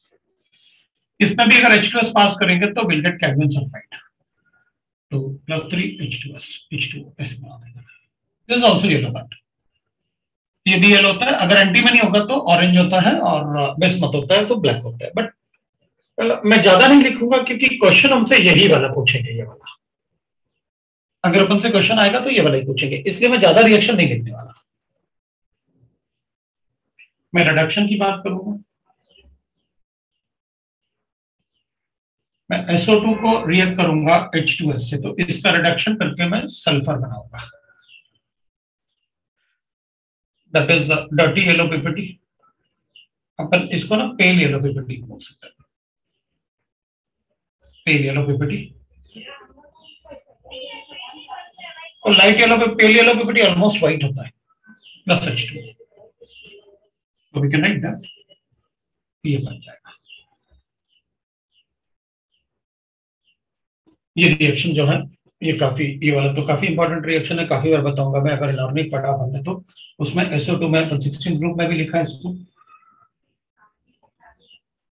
और भी सल्फ़र बनाने के तरीके हैं बट पहले वो रिएक्शन लिख लेते हैं जो बिल्कुल ज़रूरी है। ऑक्सीडेशन की बात करते हैं। ऑक्सीडेशन में अपन गोल्ड सोल्यूशन लेते हैं AuCl3 इसको मैं फॉर्मेलिटी रिएक्ट करूँगा HCOH से रिएक्ट करूँगा, और एक्वस सोल्यूशन होगा तो I write that L three को विल राइट दैट ये तो फॉर्मेलिटी में, ये गोल्ड सॉल बनेगा मेटल सॉल गोल्ड सॉल और this will get convert into ये ऑक्सीडाइजिंग ये रिड्यूसिंग एजेंट होगा। तो अपन बनाएँगे एच सी ओ एच और अपने पास बनेगा H C F so that is the product that is form ये अपने पास ऑक्सीडाइजिंग एजेंट है, ये रिड्यूसिंग एजेंट है it is a redox reaction हमने इसको रिड्यूस किया और इसको ऑक्सीडाइज किया। So मेरे ख्याल से अपन ऐसे करें तो ये बैलेंस है अपने पास. Balanced reaction. ये गोल्ड सॉल्ट है। मेटल सॉल्ट तो गोल्ड का जो सोल्यूशन होता है that is a red colour red solution होता है गोल्ड का। राइट फिर अपन फोर्थ लिख सकते हैं हाइड्रोलिसिस और भी मेटल सॉल्ट में बनाना सिखाऊँगा। ये ब्रेडिंग मेथड अपन ने पढ़ा था। उसमें मतलब लेकिन ये केमिकल रिएक्शन है। मेटल सॉल्ट और भी और भी बना सकते हैं। कैसे बनाएँगे बताऊँगा मैं। FeCl3 होगा। इसमें एक्सेस ऑफ़ वाटर ऐड करूँगा मैं।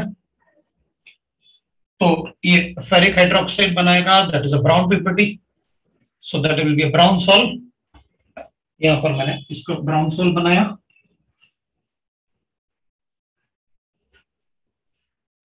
That is a brown salt. And we get HCl so, that is how we get the chemical condensation method, जो अपने चार मेथड्स लिखे थे, वो मैंने आपको बता दिए। मैंने आपको चार मेथड लिखा था। मैंने और रिएक्शन इसलिए नहीं लिखे, क्योंकि पहले उन पे फोकस करते हैं जिससे क्वेश्चन पूछेंगे से। ये सभी मेथड में ये रिएक्शन जो एक एक लिखे ना, अपन यही से क्वेश्चन पूछेंगे। इसलिए मैंने आपको बताया। अब फ़िज़िकल कंडेंसेशन लिखा था मैंने ये केमिकल कंडेंसेशन है? ये केमिकल कंडेंसेशन रिएक्शन था? अब फ़िज़िकल कंडेंसेशन ले लेते हैं।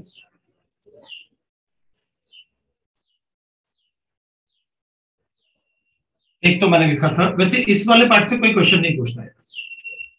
एक्सचेंज ऑफ़ सॉल्वेंट अभी पूछ तो कहा नहीं कोई, लेकिन ठीक है, अपन थोड़ा सा लिखेंगे। मैं क्या करूँगा?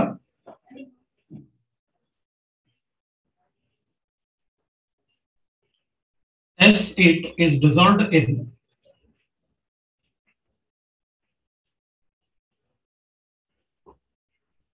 alcohol और ether to form true solution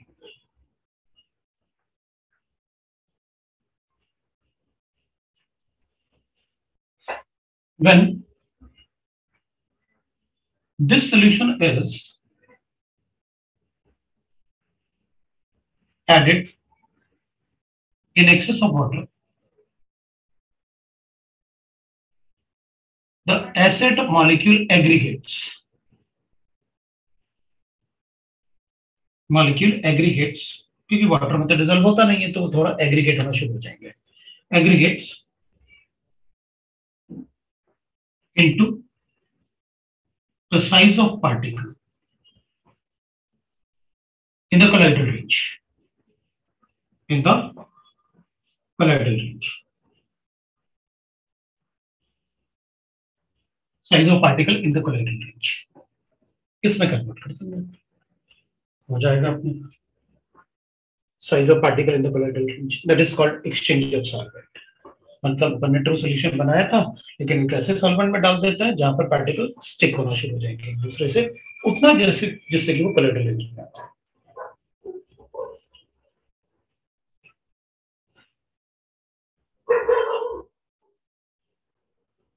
फिर लिखा था एक्सेसिव कूलिंग कोई पूछता तो नहीं, लेकिन फिर भी बस ये है कि मुझे मतलब एक सॉल्वेंट एक्सचेंज टाइप का बता सकते हैं, ऐसे कुछ एक थोड़ा पता है तो और एक्सेसिव कूलिंग में क्या होगा कि भाई जैसे अपन ने आइस क्यूब्स सीधा आइस ही लिख सकते हैं ice is added in added in water uh, ice is added in chloroform. or ether. Then it converts into particle size ये आइस जो होगी क्यूब डिजॉल्व होकर पार्टिकल साइज़ में कन्वर्ट हो जाएगा। Particle size of colloidal range at low temperature or cooling लिख सकते हैं। लो टेम्परेचर और कूलिंग ऐसे कर या तो टेम्परेचर कम हो या फिर कूलिंग हो तो फिर अपन को कोलाइडल रिंग मिल जाएगा। दैट इज़ कॉल्ड एक्सेसिव अब कंडेंसेशन के बाद अपन ने एक लिखा था डिस्पर्शन मेथड तो अपन देखते हैं what is the dispersion method इसमें तो सीधे सीधे केमिकल रिएक्शंस हैं, अपन रिएक्शन करेंगे और वो उस कोलाइडल रेंज में पार्टिकल्स बन जाएँगे. मतलब जैसे अपन कभी आर्सेनिक ऑक्साइड था एच का सोल्यूशन डालते हैं तो वो सोल्यूशन मतलब जैसे अपन ने प्रेसिपिटेट लेगा ये एग्जैक्टली exactly प्रेसिपिटेट नहीं है, जैसे ये है ना, ये प्रेसिपिटेट नहीं है. इट इज़ लाइक दैट कि एक अपन होता ना कि अपन मतलब वो कहेंगे, भाई, एक कर्ड बनाएँगे मिल्क को कर्ड में कन्वर्ट करो तो वो क्या हो जाएगा? थोड़ा थिक होता है प्रेसिपिटेट अब उसी का अपन लस्सी बनाए तो बटर मिल्क बोलेंगे अपन। तो लस्सी जो होता है, वो कोलाइड्स है। और जो कर्ड बनेगा एग्जैक्टली जो कर्ड बनेगा that will be a thick वो थोड़ा सस्पेंशन होगा। तो जो लस्सी बनाते हैं ना अपन butter milk that is colloids तो उस टाइप से ये एग्जैक्टली प्रेसिपिटेट नहीं है। ब्राउन सॉल का मतलब हो गया कि वो एग्जैक्टली प्रेसिपिटेट नहीं है। दे आर जैसे होता है ना कर्ड होता है। वो प्रेसिपिटेट लेकिन बटर मिल्क जो होगा, जो लस्सी होती है राइट ना, वो मतलब अपन कहते हैं, वो सॉल होता है। वो कलर्स होता है। मतलब वो एग्जैक्टली प्रेसिपिटेट नहीं है, अगर अपन कोलॉइड्स लिखना है तो that is not a PPT how can be a PPT अगर पीपीटी लिखूँगा तो it can be it will be a suspension dispersion method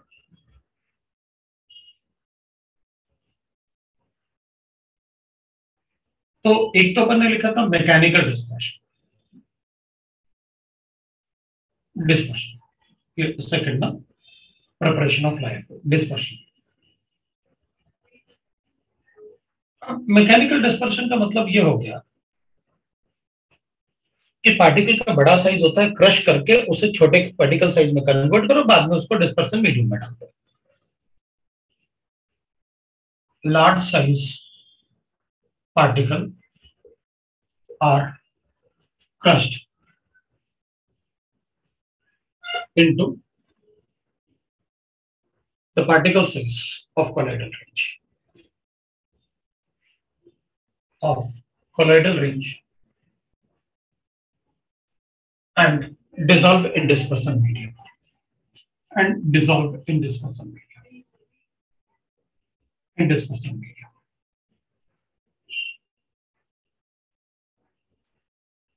अब अपन कहेंगे देखो तो इतना सब आप मुझे मैकेनिकल वगैरह में मतलब वो मत करो। इस, इधर आपने कहा, चलो ठीक है, हमने मान लिया इधर केमिकल रिएक्शन थे। इधर आपने कहा ट्रू सोल्यूशन बना के, क्योंकि ये सल्फ़र एल्कोहल या में तो डिजोल्व करेगा, क्योंकि वो नॉन पोलर था। लेकिन पानी में डिजोल्व नहीं करेगा तो एग्रीगेट कर गया पार्टिकल साइज़ में आ गया। एक्सेसिव कूलिंग में ठीक है। क्यूब को अगर डालेंगे अपन या पानी डाल देंगे क्लोरोफॉर्म में तो वो लोअर टेम्परेचर पे कूलिंग करने पे पार्टिकल साइज़ वो कोलोइडल रेंज में आ जाएगा। ये तो आप सीधा सीधा बोल रहे हो मुझे कि मेरे पास वीट पार्टिकल है। वीट थोड़ा बड़ा पार्टिकल होता है। मैं उसे फ्लोर मिल पे लेके गया मतलब चक्की पे लेके गया। उस चक्की में क्या होता है? दो सर्कुलर व्हील होता हैं। है ना? उस चक्की में क्या होता है? दो सर्कुलर व्हील होते हैं।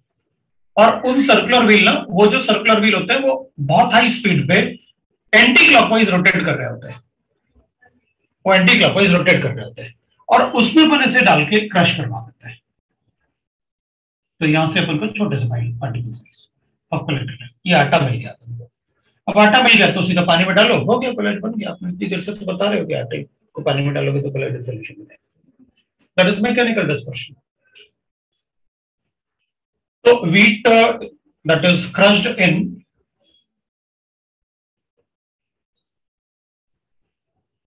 between the circular wheels rotating at high speed in opposite direction at high speed.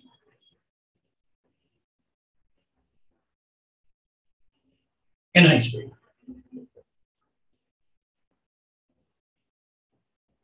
ठीक है ये अपन को फ्लोर मिल गया आटा मिल गया पानी में डाल के अपन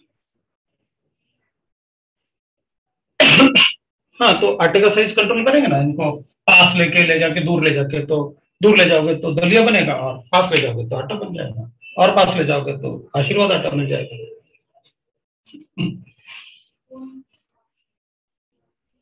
उस टाइप से अपन साइज़ को कंट्रोल कर लेते हैं। उसमें मतलब मशीन में वो रहता है एडजस्ट कर साइज़ को एडजस्ट करने का।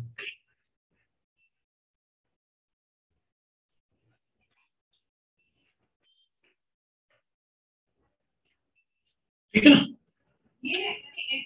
सेकेंड होता है dispersion medium that is electrical dispersion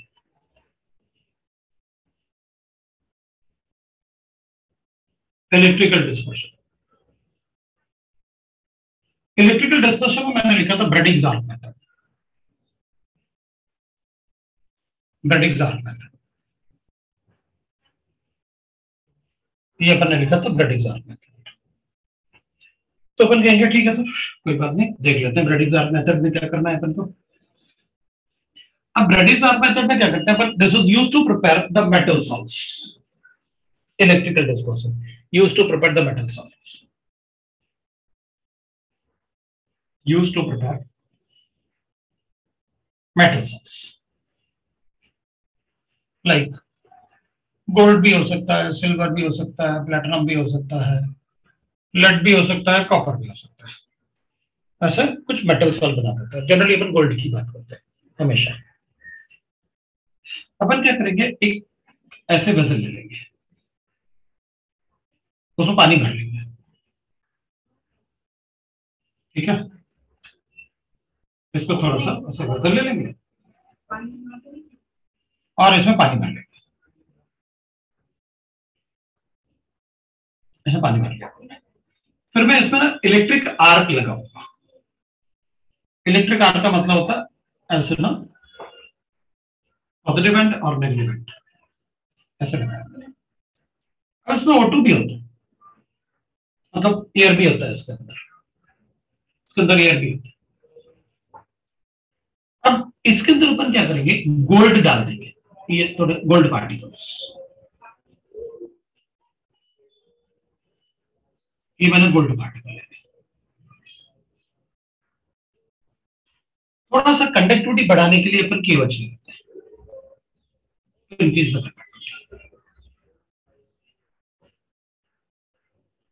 conductivity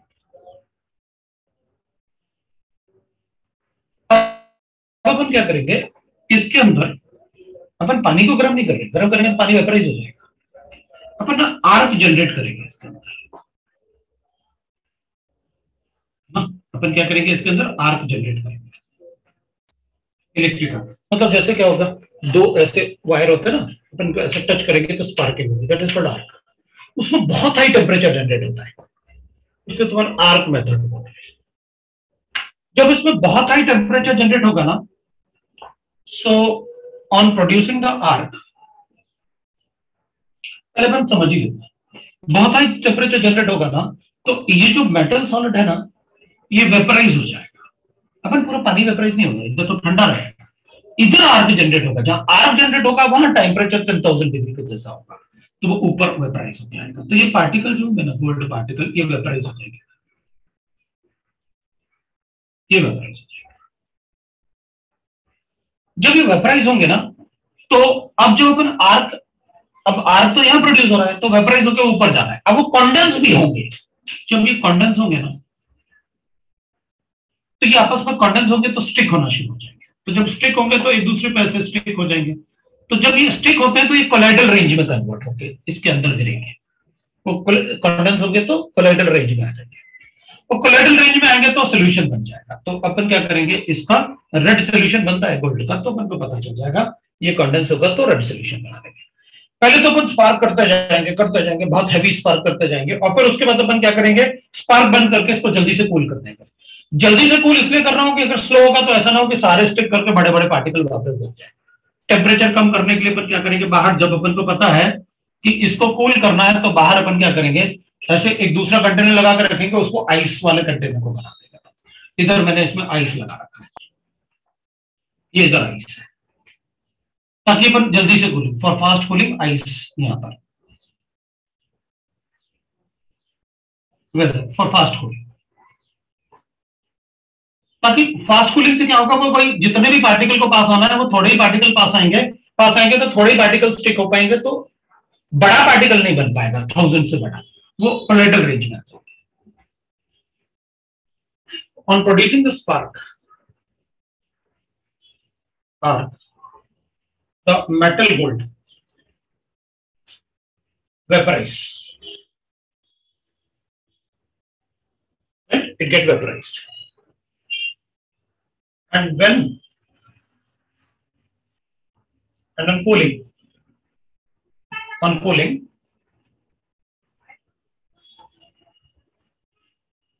they condense back. Back. Into the particle size of. Size of. Colloidal ridge ridge and we get color solution of gold KOH is used to increase the conductivity.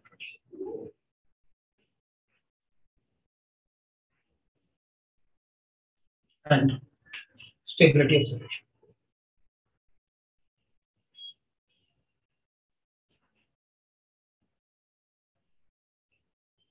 due to high temperature,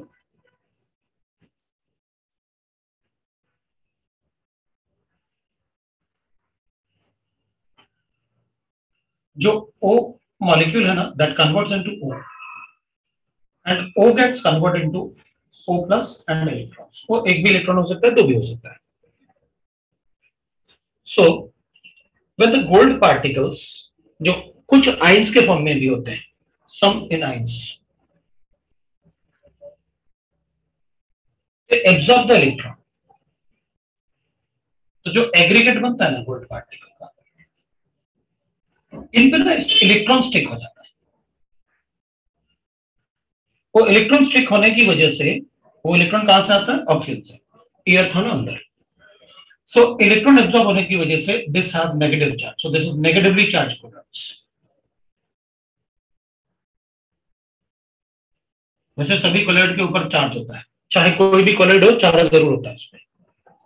वही तो उसकी stability का reason होता है।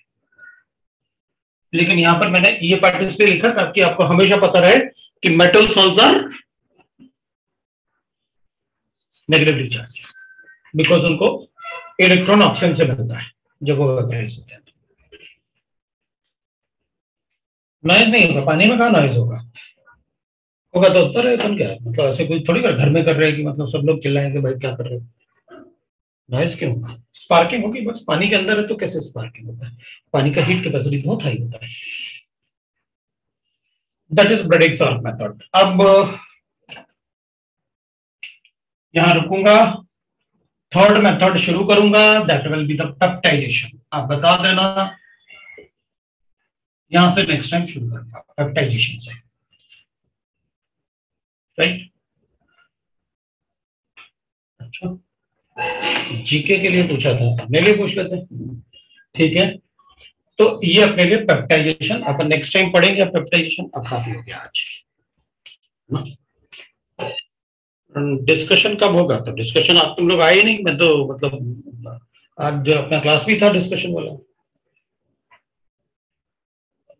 है one thirty two three o'clock नहीं। कभी discuss कर लेते चलो नेक्स्ट क्लास लगवा दूँगा, उसमें कर लेंगे। मुझे लगा या तो पता नहीं तो नहीं क्या। चलो नेक्स्ट टाइम कर लेंगे, कोई बात नहीं। तो अभी डिस्कशन मैं आपको बता दूँगा कब होगा तो अपन कर लेंगे।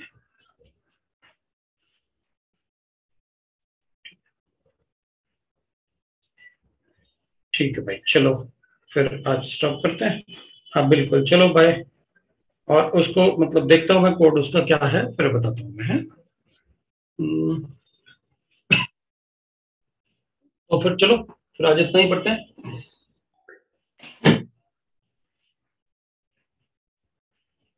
Thank you